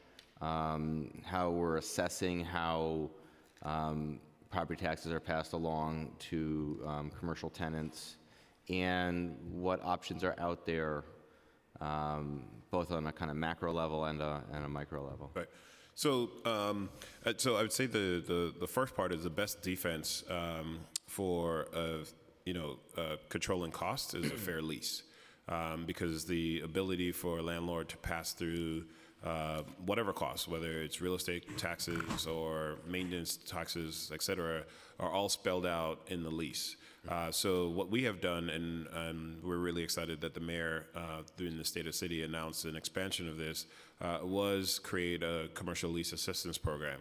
Uh, so the the focus for us is really uh, helping our uh, you know small business owners get access to attorneys uh, to help with the negotiations. Um, and one of the things that we also uh, were able to talk um, the mayor announced was, um, you know, doing some type of uh, lease uh, transparency. Uh, so really working uh, with the industry and coming up with a standard lease uh, that will actually uh, be transparent about not only your, your taxes, uh, but other costs. Uh, so, for example, uh, we've seen business owners who have signed a lease um, and wanted to do one use in that particular space, uh, just to realize that the certificate of occupancy said a different use. Uh, which now adds additional time to change the use of that space. Uh, so there's a number of things that we've heard from small businesses. Uh, I would say that on the sort of macro level, as you know, the mayor has uh, uh, created a commission uh, for, um, you know, just to examine uh, property tax in general. uh, we're optimistic uh, um, about the fact that uh, if once the commission comes out and their meeting now uh, comes out with recommendations, uh, that we'll see some type of balance, um, and uh, we'll then uh, hopefully see some benefits uh, to our small businesses. Uh, but for us, the best defense uh, is really uh, your lease and having and and having uh, disclosure in your lease about uh, you know, the expected property tax uh, pass-through, uh, because we've seen, you know, the, the triple net lease is what you're talking about, where, you know, the, the property tax just Yeah. goes right through to your rent. Yeah. Um, and if a business owner has no clue as what the, the property tax is now and what it will be, uh, they don't know how to actually, you know, uh, forecast uh, their projections in terms of what revenues they need to have in the outer years. Uh, so that is our focus, really, is to ensure transparency uh, in that particular area. So, so the, um, the Property Tax Commission uh, is kind of examining this issue in particular, uh, how the, how those taxes are assessed or um, as a class, or, or is that not necessarily? No, I think, so my understanding uh, is that the commission is looking at uh, just how property taxes are assessed in general. Right, Uh, Because as you know, there are some challenges where in, in certain communities, uh, you know, in- the property tax is higher than in other communities Yep. and et cetera, et cetera. So that's, that's in general. But the trickle-down effect would be uh, you, you know, um, if, uh, you know, whatever the recommendations come out of this, um, you know, the, the, the, the assumption is that if there's a level set of, of property tax, then there's some transparency. And then therefore, uh, again, it goes back to our, our strategy. Uh, business owners will then uh, be better informed about uh, what that triple, what, what that pass-through would look like. Okay. Um, And what is the budget of that, um, the assistance program? So currently, um, we're about uh, two, 2.4 million For FY '21 or for FY '20? so far for FY uh, '21. 21, okay, great. Okay, thanks, Commissioner, thank you. Thank you. Thank you, uh, Councilmember. I believe Councilmember uh, Perkins has a question? Thank you, Chair. I, I don't, I want to, um, this idea of small business always sort of confounds me a little. I, I don't think there's such a thing as small business per se. In fact, in, in its, uh, uh, I, you know, in its, in its totality, small business, especially for communities of a certain type, and especially for the city, is really big business. Don't you think? That there is a reason to look at them from the perspective of uh, how much they provide to our neighborhoods, how much they provide collectively in a, in a broader sense of the word. So sometimes it, it appears as if small business is just lollipops and candy and other kind of minor stuff. But in con- from an economic point of view, aren't we rich in terms of our small businesses and the, what they provide to our city and our communities? So um, I would, so absolutely. Um, we look at small businesses, and I've said it a number of times, they are the economic engine of the city. So to your point, Could you repeat that again? they are the economic engine of the city. Thank you. Uh, our small businesses employ over about 3.9 million New Yorkers. Um, and when we, the small businesses that we deal with are really micro businesses. And, you know, uh, uh, Councilmember Gjonaj and I have had a number of conversations about the difference, um, you know, because those businesses, that's why they need our services. Uh, they tend to have five or less employees. Uh, they may not have a retainer at a law firm. Uh, they may not have a banker uh, that they can go to and just get a line of credit. So that's why a number of our resources are, are aimed at those very small businesses to ensure that they have the resources necessary to grow. Uh, so you're absolutely correct. They are, uh, you know, our focus on legacy businesses. Those are the businesses that have been around in communities forever. Um, they're the ones that's hiring. They're the ones that's giving back to the Little League. Uh, they're the ones that are providing, you know, the, the, the young people in the community their first internship opportunities, their first job. Uh, so we, and I've said a number of times uh, that we need to support our small businesses. Uh, we've talked, and uh, council member, we've talked about, uh, you know, what the changing in consumer behavior will, is doing to our small businesses. Uh, and I just remind New Yorkers all the time that they need to, you know, go out, support their small businesses, purchase from their small businesses, but we also are providing services to help our small businesses adapt to the changing consumer behavior. So we have courses on uh, how to um, uh, develop an e-commerce strategy. Uh, so if you're a small business and you're not online, uh, when someone moves into the neighborhood, the first thing they're going to do is search online for a shoemaker or something like that. And if you're that shoe um, maker in the in the community and you don't have an online presence, uh, then you're going to get you're going to lose customers. Uh, so we are are operating on both sides uh, to help our small businesses. And in that regard, are, are our small businesses becoming more tech savvy, so to speak, and engaged in some of the more, I, s- I guess, modernized approaches to doing business? Right. Even as they are so-called small, that, but nevertheless profitable and from a community point of view, available, you know, to the, Yep. to the local neighborhood? Mhm. So we work closely with, so the answer to your question is yes, a lot of small businesses have realized that they need to have an online strategy. Uh, whether it's taking courses that we offer or taking courses that our chambers of commerce uh, offers. Uh, so I know like the, the there's a couple chambers who have partnerships with tech companies uh, to help those small businesses develop an online profile. Um, so those are the those are the things that uh, we need to focus on and continue to focus on um, because they are slow they're adapting uh, to the fact that they need to have that online presence. Thank you, thank you. Thank you. Thank you, Councilmember. Uh, Commissioner, the fiscal 2020 adopted expense budget was approximately $92 billion, of which council portion was only about 456 million, or less than 1% of the total budget. However, in the fiscal 2020 of SBS's 236 million adopted budget, approximately $24 million, or 10%, comprised of council funding. Why does council funding support such a large percentage of the agency's budget? So, um, so again, so a, a lot of our, our, our agency staff is focused on delivering programs.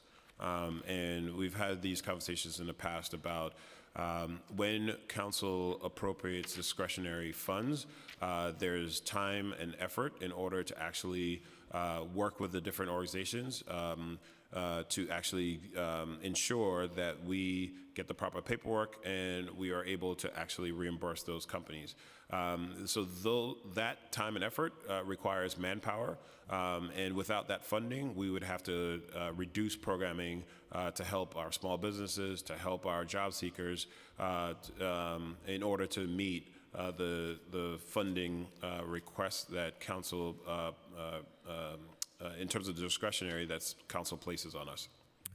But the council members have limited dollar amounts available to them to use for their discretion, and these programs, which include, and some of them are uh, well worth it, we've seen the effects and impacts that they have, from Chamber on the Go, construction site safety training, day labor workforce, job placement for veterans, job training and placement initiative, Made in New York City, WMBE Leadership Association, uh, neighbor development grant initiatives, uh, worker cooperative business development initiative, New York City cleanup, and anti-poverty local and speaker initiative by borough. That's $24 million of city council initiated funding, when many of these deserve to be baselined.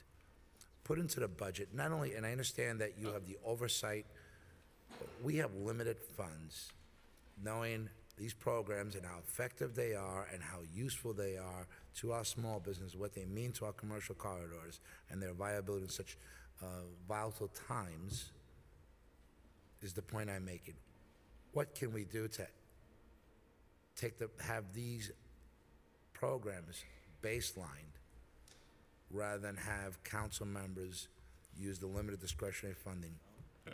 I think that's a it's a it's a good question, and it's a conversation that I think council should have um, uh, uh, with the budget office. I, I think there's there's always um, you know we are are in this together. So there are programs that that we have baseline, uh, and there are programs that that council has funded. Um, and and together we have made um, you know great progress. Uh, but I would I would say that, that that's a, a that's a that's a higher level conversation. All conversations begin somewhere, I guess. Commissioner, the fiscal 2021 preliminary budget includes 200,000 in fiscal 2021. 800,000 in fiscal 2022 and 500,000 in fiscal 2023 for a disparity study. What was some lessons learned from the last disparity study regarding availability and contract utilization of firms by industry classification and minority groups? So I think um, so. So number one, uh, one of the things that we were able to from the last disparity study, uh, we were able to focus on Native Americans. Um, so in the past, that they were they were not eligible for the program. Uh, so we were able to um, add uh, Native Americans to the program. So that was uh, a benefit from uh, the the last disparity study.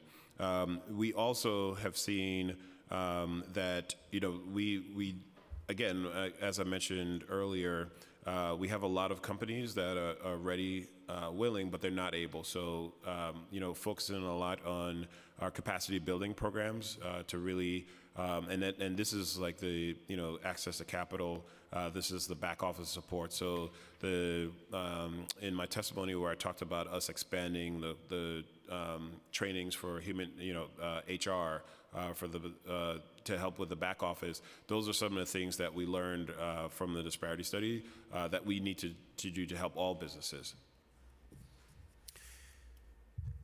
Obviously, these studies are important, and the question is the follow-up. Um, Based on the Native American, um, what other results have come out, and that what steps has SBS taken after the results came out? Um, And what can we expect from this particular study? Right. So just to just to um, make sure I, we, we give some context. So the disparity study is actually the the the uh, the underpinning of our program. Uh, we cannot have a race and gender program, uh, a focus program, without showing some type of disparity. Uh, so the study is actually the foundation of the MW program. Uh, so we're required uh, to uh, refresh that study uh, over a certain period of time. So that's what you're seeing now. Um, and the study then dictates uh, what goals we set for each individual group in terms of what percentage, what aspirational goal that we set for each additional group in terms of city procurement. Uh, so the study is really to examine whether or not the MW pro- program is, is working. Um, and the goal really is, if you think about it, is that uh, as we move forward and as we are seeing increased utilization, then the percentages that we then allocate in terms of aspirational percentages will decline over time. Uh, to the point where uh, when we eliminate the disparity, I mean, the goal is really to eliminate the disparity, uh, which is why we have to continue to study. Thank you. So 2020 is an important year, census. Um, Has the agency actively started engaging the public in forms of mass communications, whether through events, mailers, flyers, or media, using small businesses uh, as the vehicle to get the, the word out, the deadline, the importance of uh, federal dollars and what it could mean if someone goes uncounted, to make up for the mistakes that we've had in previous census?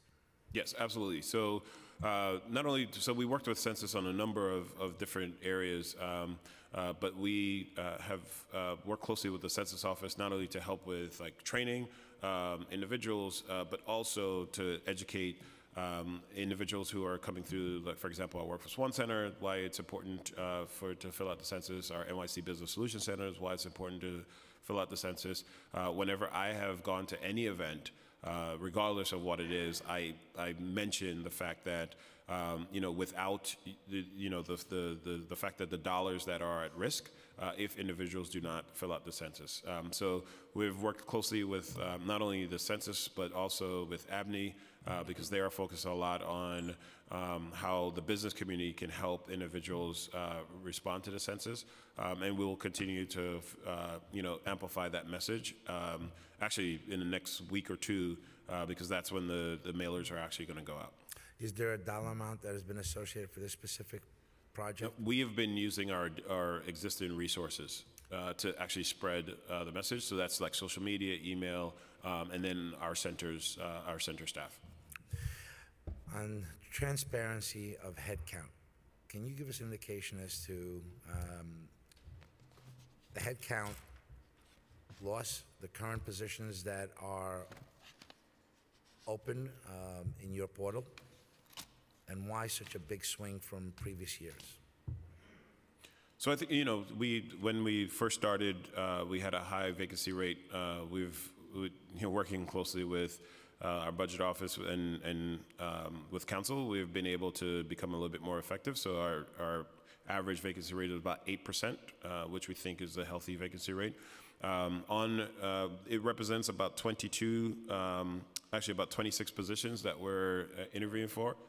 Um, and uh, even though online you'll see a little bit more, uh, some of that is because we've made an offer um, and we do not take down the, the job description until we get approval by OMB because in case uh, when approval comes, uh, you know, the individual decides to find another job, we want to make sure that we're able to, um, you know, get someone in as quickly as possible. Uh, or uh, we do have non-city funded positions that we do advertise on our website. Do you, can you identify the unfilled positions that currently exist today? If, yeah, we, I, I can certainly follow up with you. I mean, we, uh, if, if you want me to go on, online and, and read out the positions, but I mean, that they're, they're scattered across the agency, uh, between workforce, um, uh, neighborhood development, uh, DFO, uh, and even our internal operations. And you feel comfortable with the vacancy rates? They're not alarming uh, to the agency? Well, I mean, eight percent. I mean, you know, we have an unemployment rate of like three point, what's it, four percent or something like that. So, um, in a, in a, it's a job seekers market, um, and you know, one of the challenges uh, we have seen, uh, for example, is in our ability to retain staff in tech. Um, you know, individuals um, are, can make a lot more in the private sector. Um, so, you know, that's one of the reasons why I'm really proud of this agency because the people who are here, they're here because of the commitment to serving the people of New York. Um, and, you know, uh, again, that's the sell, that's the things that we have to do uh, to recruit individuals into the agency because um, they can certainly make a lot more money on, on, the, on the outside.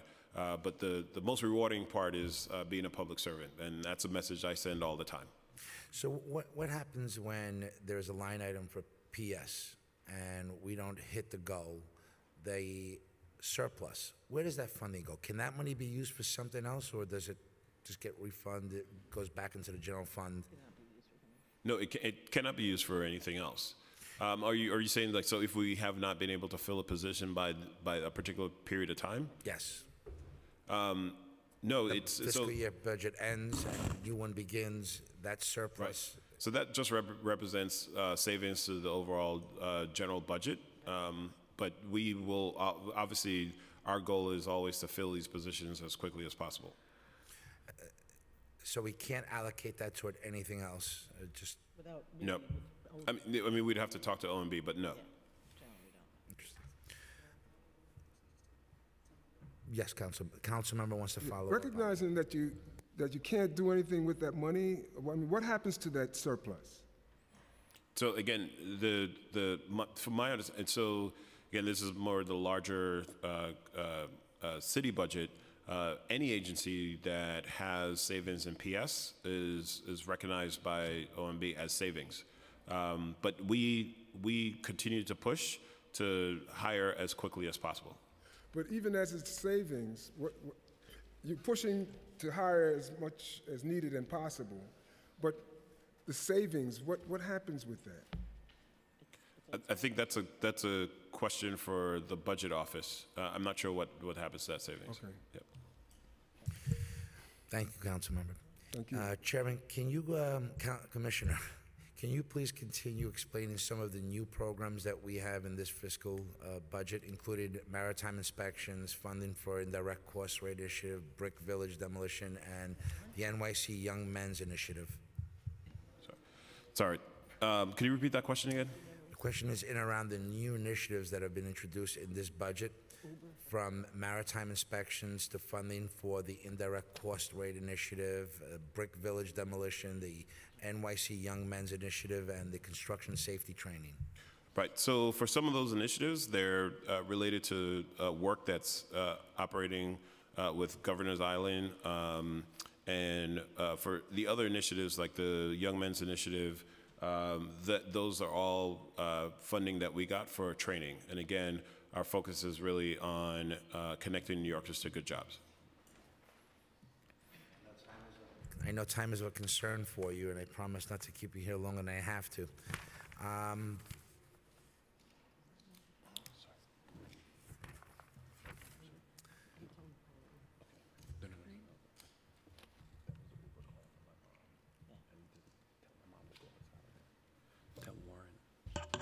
Sorry. The administrator set a goal to have thirty percent of the dollar amounts of, and you've elaborated on this, and you feel comfortable where we are. Is there a, on the renewal of WMBEs? Is there a decrease on the renewals? um, on the You're talking about certifications? recertification? Yes. So last year, uh, we were about, I think, 101%, uh, based on the fact that we were hitting, uh, we were focused on increasing our utilization to, uh, our certified target to 9,000. Um, You know, right now, uh, our goal um, in the, in the MMR, we're measured at um, our utilization being at 60, 60, uh, sorry, our recertification being at, at 65%. Um, So I, I, I do not think we're going to um, have an issue uh, with our recertification rate.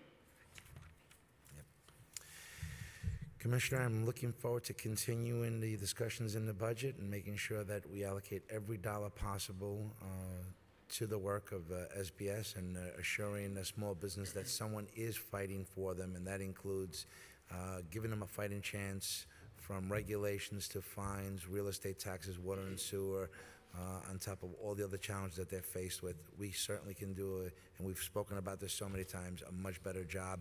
Uh, I really want to hear more about the grace period, cure periods on violations and how extensive we're going to make them uh, to make sure that we can, we are supportive of the needs of our small businesses. um, And instead of that burden that determines whether or not they stay open. Thank you, Commissioner. Thank you, and looking forward to uh, dinner in Chinatown. Safe travels. Uh, Thank you.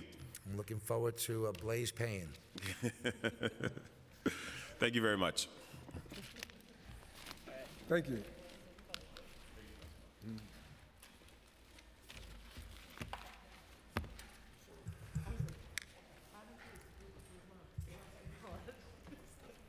Would like, like to welcome up our first uh, panel, uh, Sylvia Morse.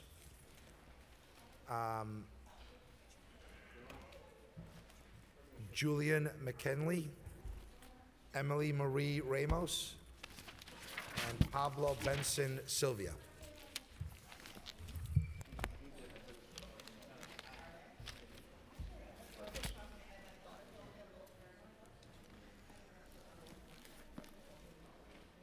Sorry, maybe get these cups out of the way for you. Because we definitely use them.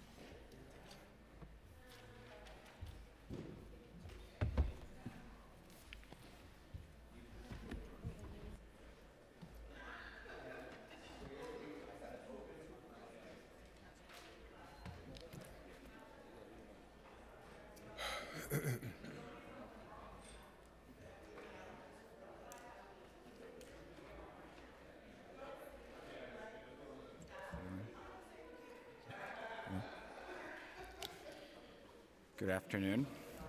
Um, Good afternoon, Chairperson Gjonaj and distinguished members of New York City Council. If you could just hold up for a moment, sorry, the oh, yeah, chair's no just worries. returning to a seat.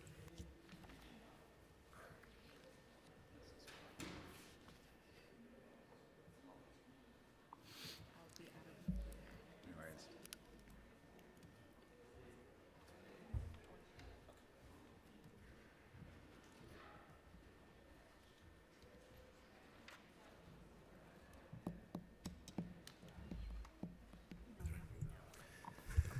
So, in no particular order, I guess we can start from you.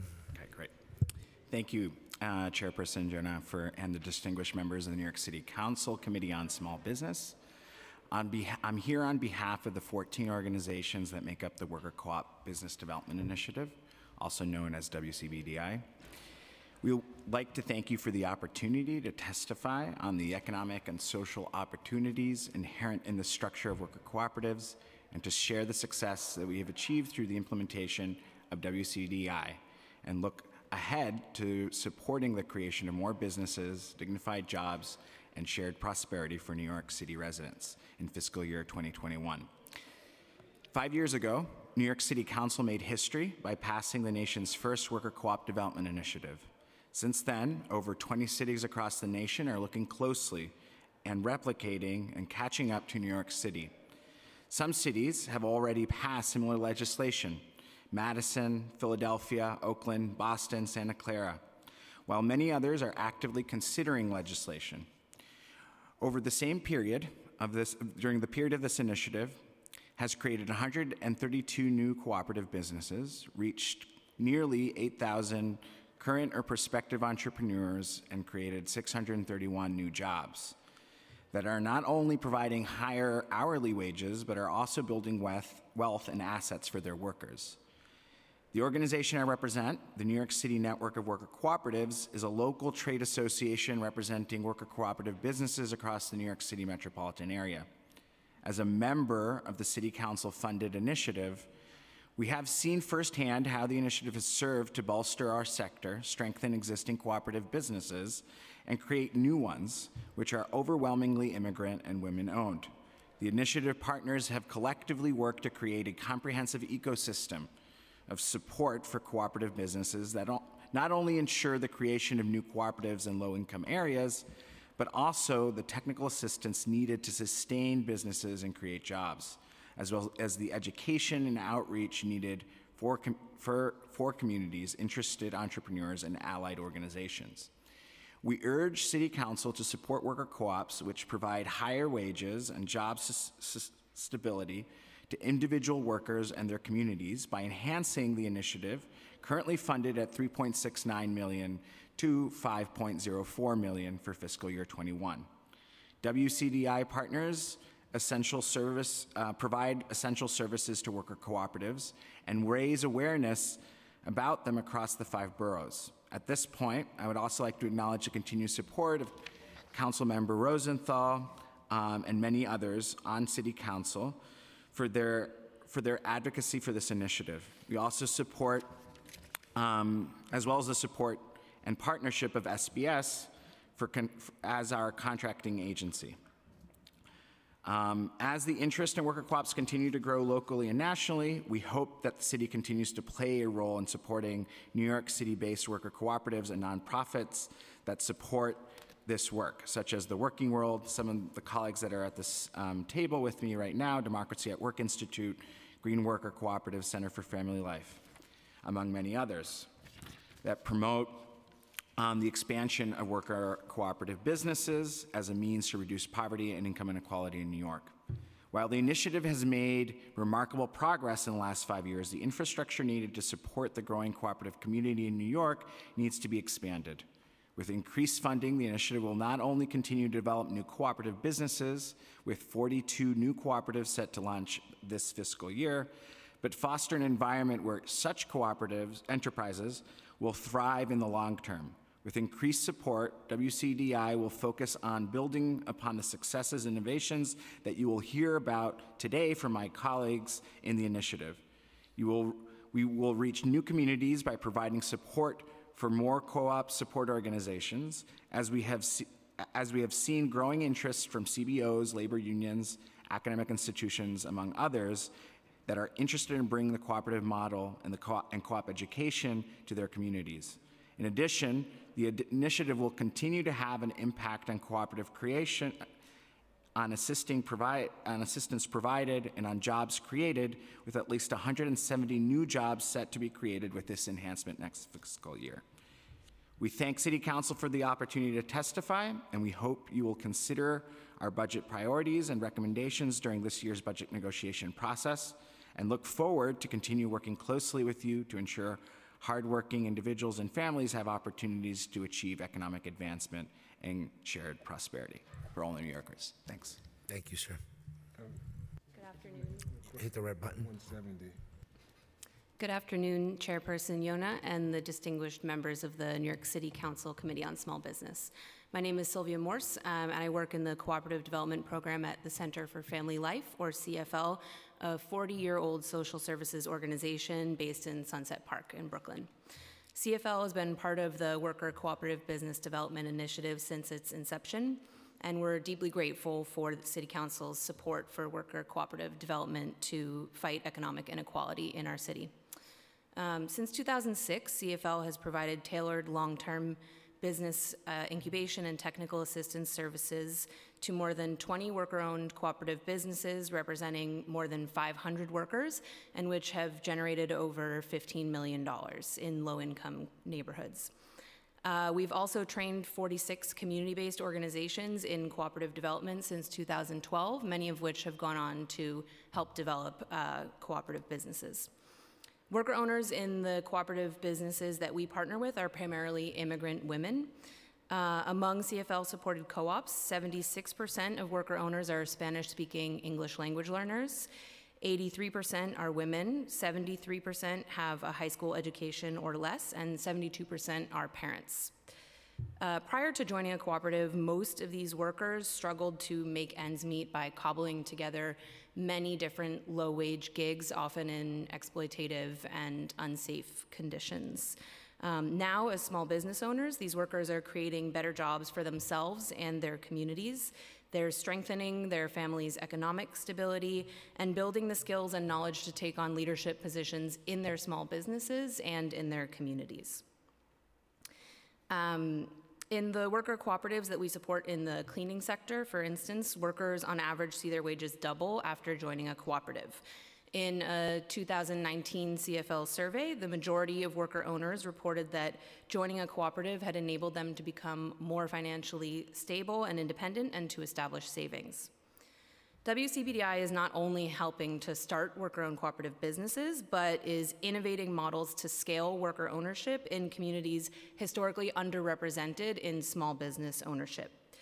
CFL developed Up and Go, which is a cooperatively owned web app for worker cooperatives from across the city to jointly market their services. Uh, Up and Go helps cooperatives more quickly enter the market, compete in the digital gig economy, and share in the wealth that's generated by technology and transforming their industries. Uh, CFL launched the country's first worker cooperative franchise, Brightly Cleaning. Uh, through shared branding and branding and business infrastructure, the franchise reduces many of the barriers uh, for worker owners to start up and sustain successful cooperative businesses.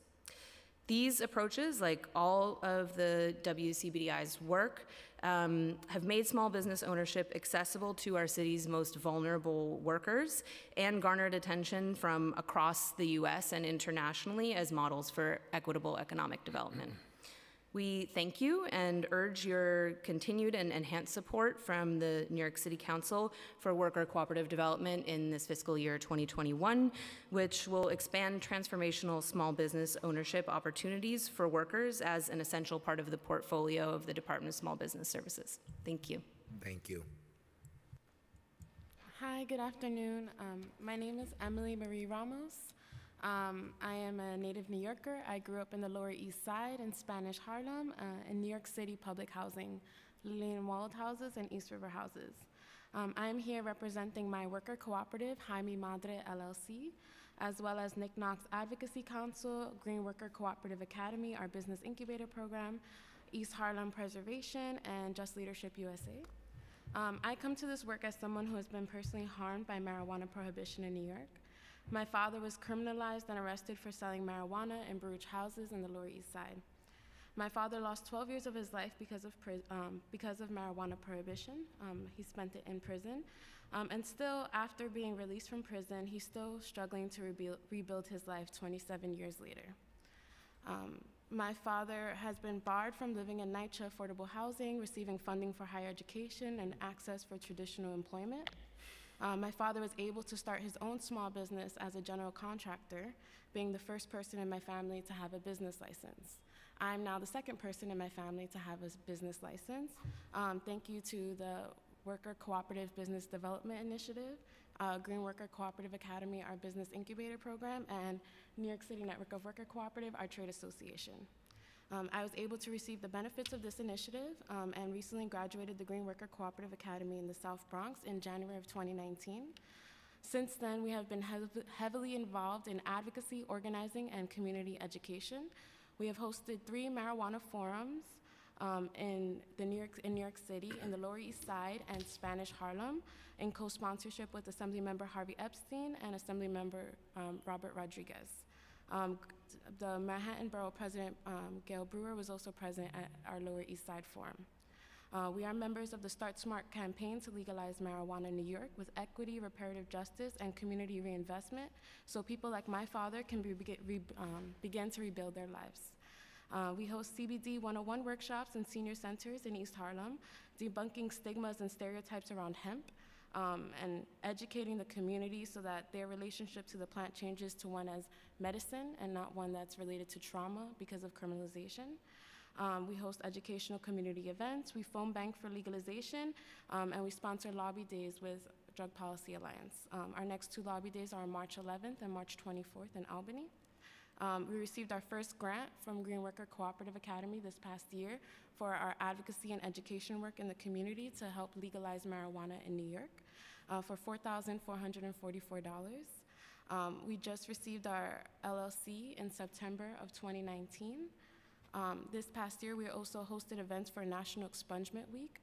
Uh, we are one of over 40 cities across the country that were hosting events um, to inform people in the community on how they can get their records expunged, what are the criteria for expungement, um, in co-sponsorship with Community Service Society, uh, Legal Action Center, and Legal Aid Society, who was leading the expungement events, as well as some of the public defender services in New York City.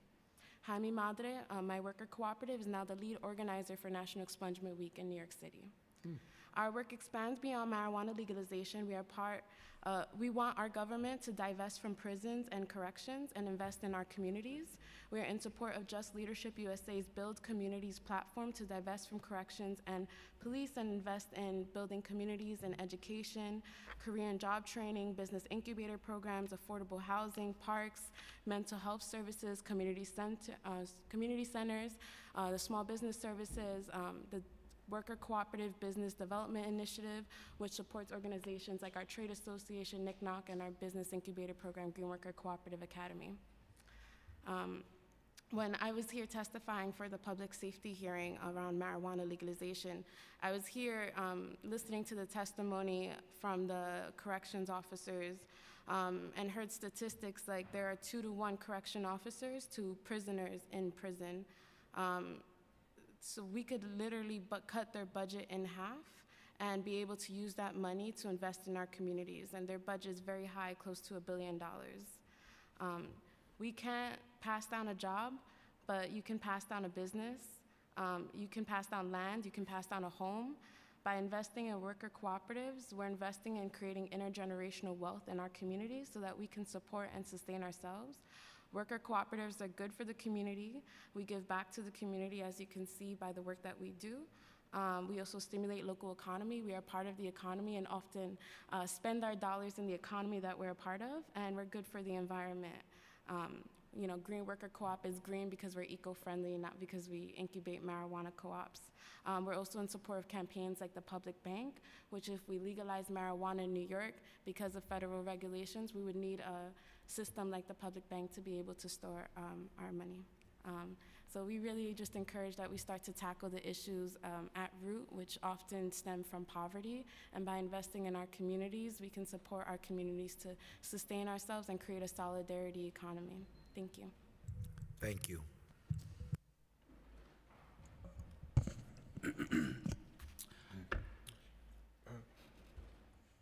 When you- when you- yeah, mhm, No problem, whenever you're ready.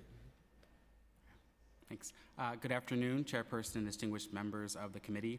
It is always an honor to address you, but especially today as I submit testimony in support of the hardworking individuals and families in our communities.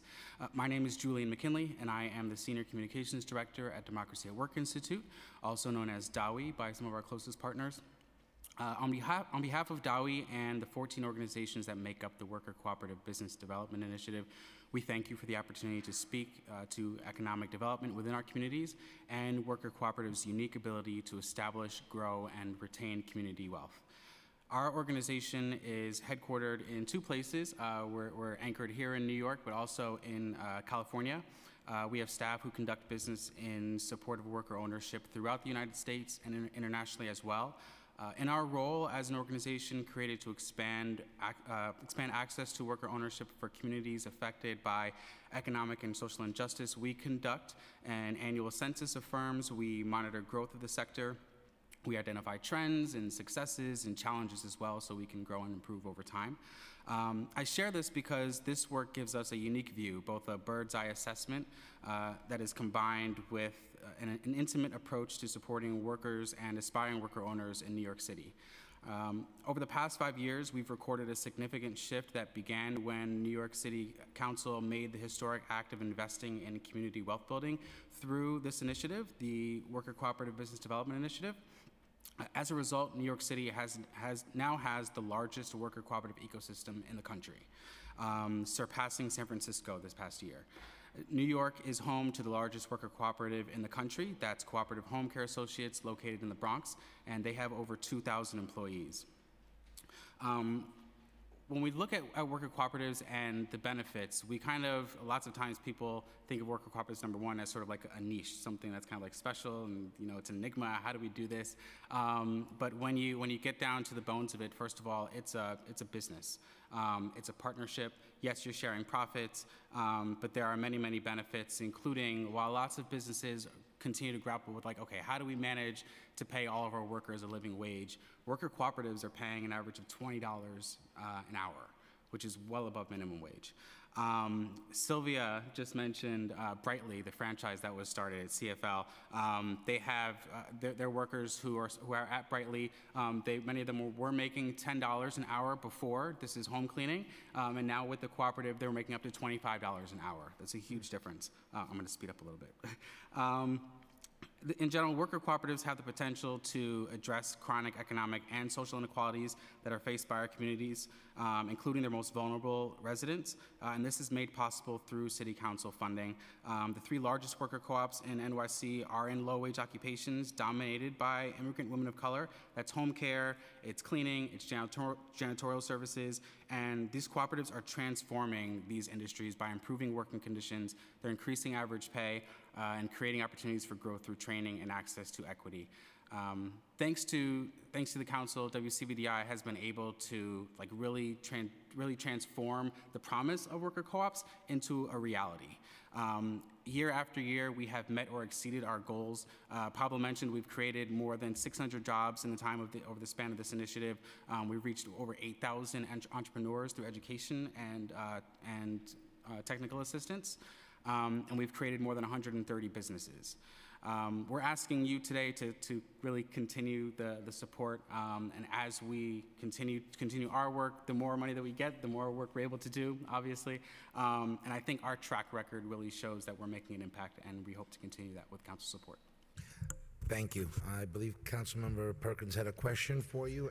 First, I want to just thank you for your heroic efforts. I mean, it sounds very fruitful and healthy. And so, whatever we can do from our perspective and as, as you know, council members and, and, and concerned about our communities, please don't hesitate to reach out to us. If you have a newsletter, put us on your newsletter li list so, so, that we can sort of uh, follow up with the good work that you're doing, which uh, we'd like to see, obviously, it happen in our respective districts. And so thank you for this uh, report. Thank you, Councilmember. Councilmember Levin has a follow-up question. Thank you, Chair. Um, so I just wanted to thank uh, thank you all for your testimony, um, uh, Ms. Ramos.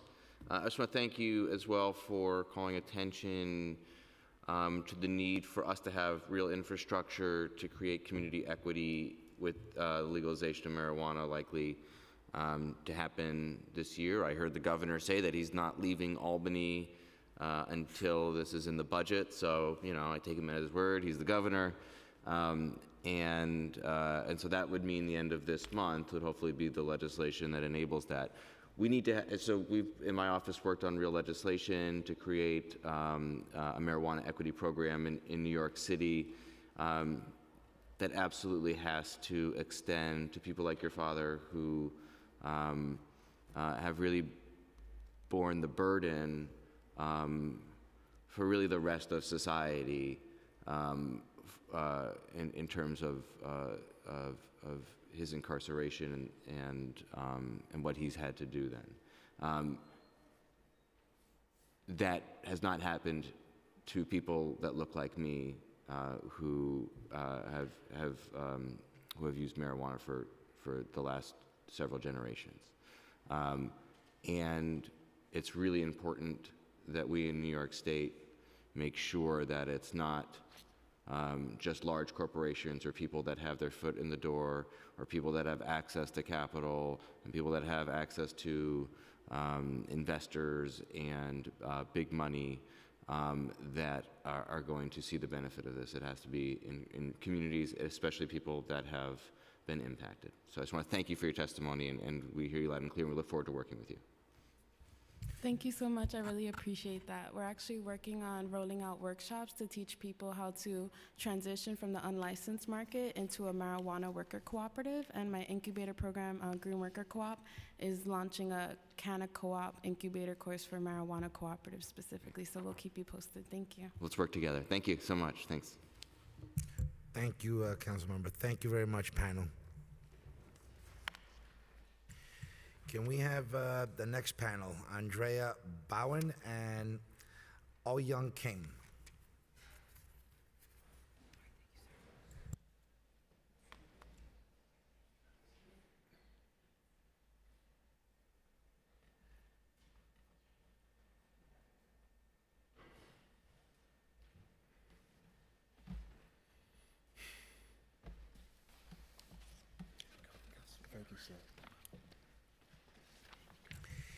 In no particular order.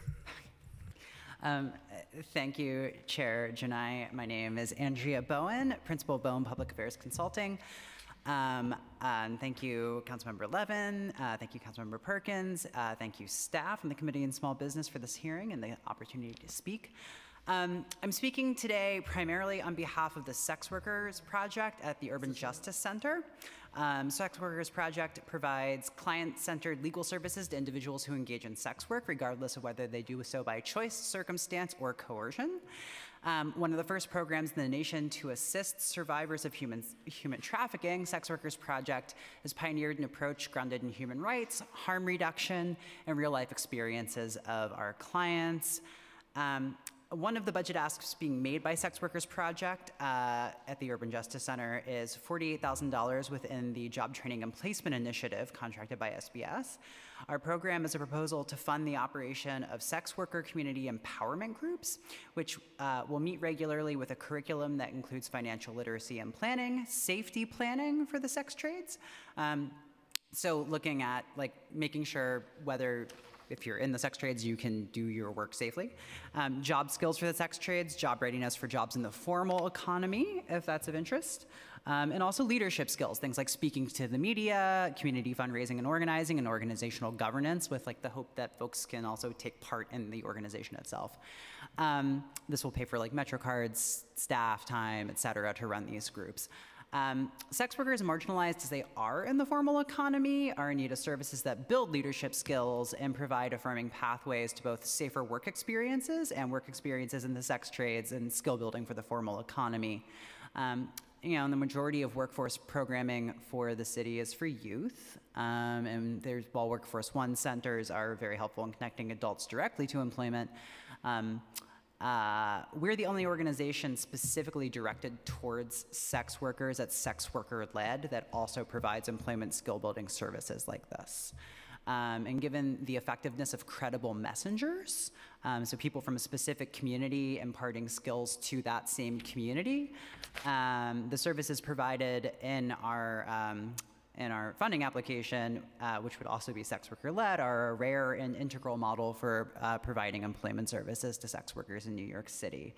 Um, we believe in meeting, people where they are with a harm reduction and human rights centered approach. Um, and we just want people to be able to have the tools to be able to, be able to live their lives the way they want. Um, so, uh, in conclusion on that point, uh, we're just asking for $48,000 in the Job Placement and Training Initiative um, for uh, this service, which is already, which has previously been funded by, um, I think, the Annenberg Foundation. Um, so we're just looking for council funding to continue the programming. Um, I also just want to note, um, I also work with NICNOC, um, and as a transgender woman, um, I support the increase for the Workforce Cooperative Business Development Initiative, um, as I know that, you know, transgender people, gender nonconforming and non-binary people are frequently locked out of the formal economy, and WCBDI provides an opportunity for trans people to be able to make their own jobs and be able to, you know, survive. So um, thank you so much for your time. Um, I'm also submitting a separate testimony about WCBDI and its impact on TGNC and B folks, transgender, non gender nonconforming and non-binary. Um, but uh, and I also have a fact sheet on uh, sex worker sex workers projects uh, asks for this year. Thank you so much. Thank you. Thank you, Chair Chair Gjonaj and the New York City Council Committee on Small Businesses. Um, my name is Ahyoung Kim. I'm the Small Business Project Manager at the Asian American Federation. As you are aware, I'm sure, the Asian-owned businesses in the city are contributing tremendously to the city's economy. They have taken up up to about half of the net new ec- economic activity, as well as half of net new economic uh, net new hiring between 2002 to 2012. But yet, I'm here to testify that there is not enough support for the small business owners that are Asian American that have language uh, language language capacities that deter them from engaging with the city agencies. Um, naturally, um, and they need more support to make sure that they don't fall through the cracks of all the regulation issues that you're already aware of, and also to make sure that they are assessing the services that is given by the city agencies to help the small businesses.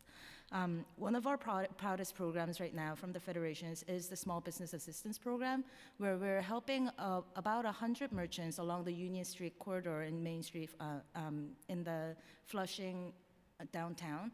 And the problem is we are about to lose funding for this issue. Our contract with the NYCDC is ending in, in um, June 2020, and we are fearing, and our merchants are also fearing, that they're not going to be able to continue to get the technical assistance that we give, and also they're not going to be able to have that access to the council members that can actually advocate their needs and their concerns for what they see on the ground.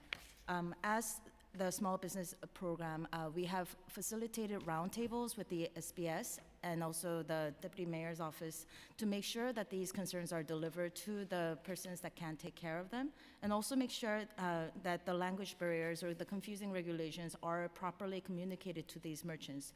But the problem is, we see that even today, um, I'm getting calls from our merchants asking what the plastic bag ban, or whether they're exempt or not, and, and whether they're going to be able to get their taxes exempt on this issue. And there's so much um, inconsistency and also lack of adequate language um, in language material to make sure that the Asian small uh, small business owners are also informed at an earlier stage so that they're not being hit with regulations and violations.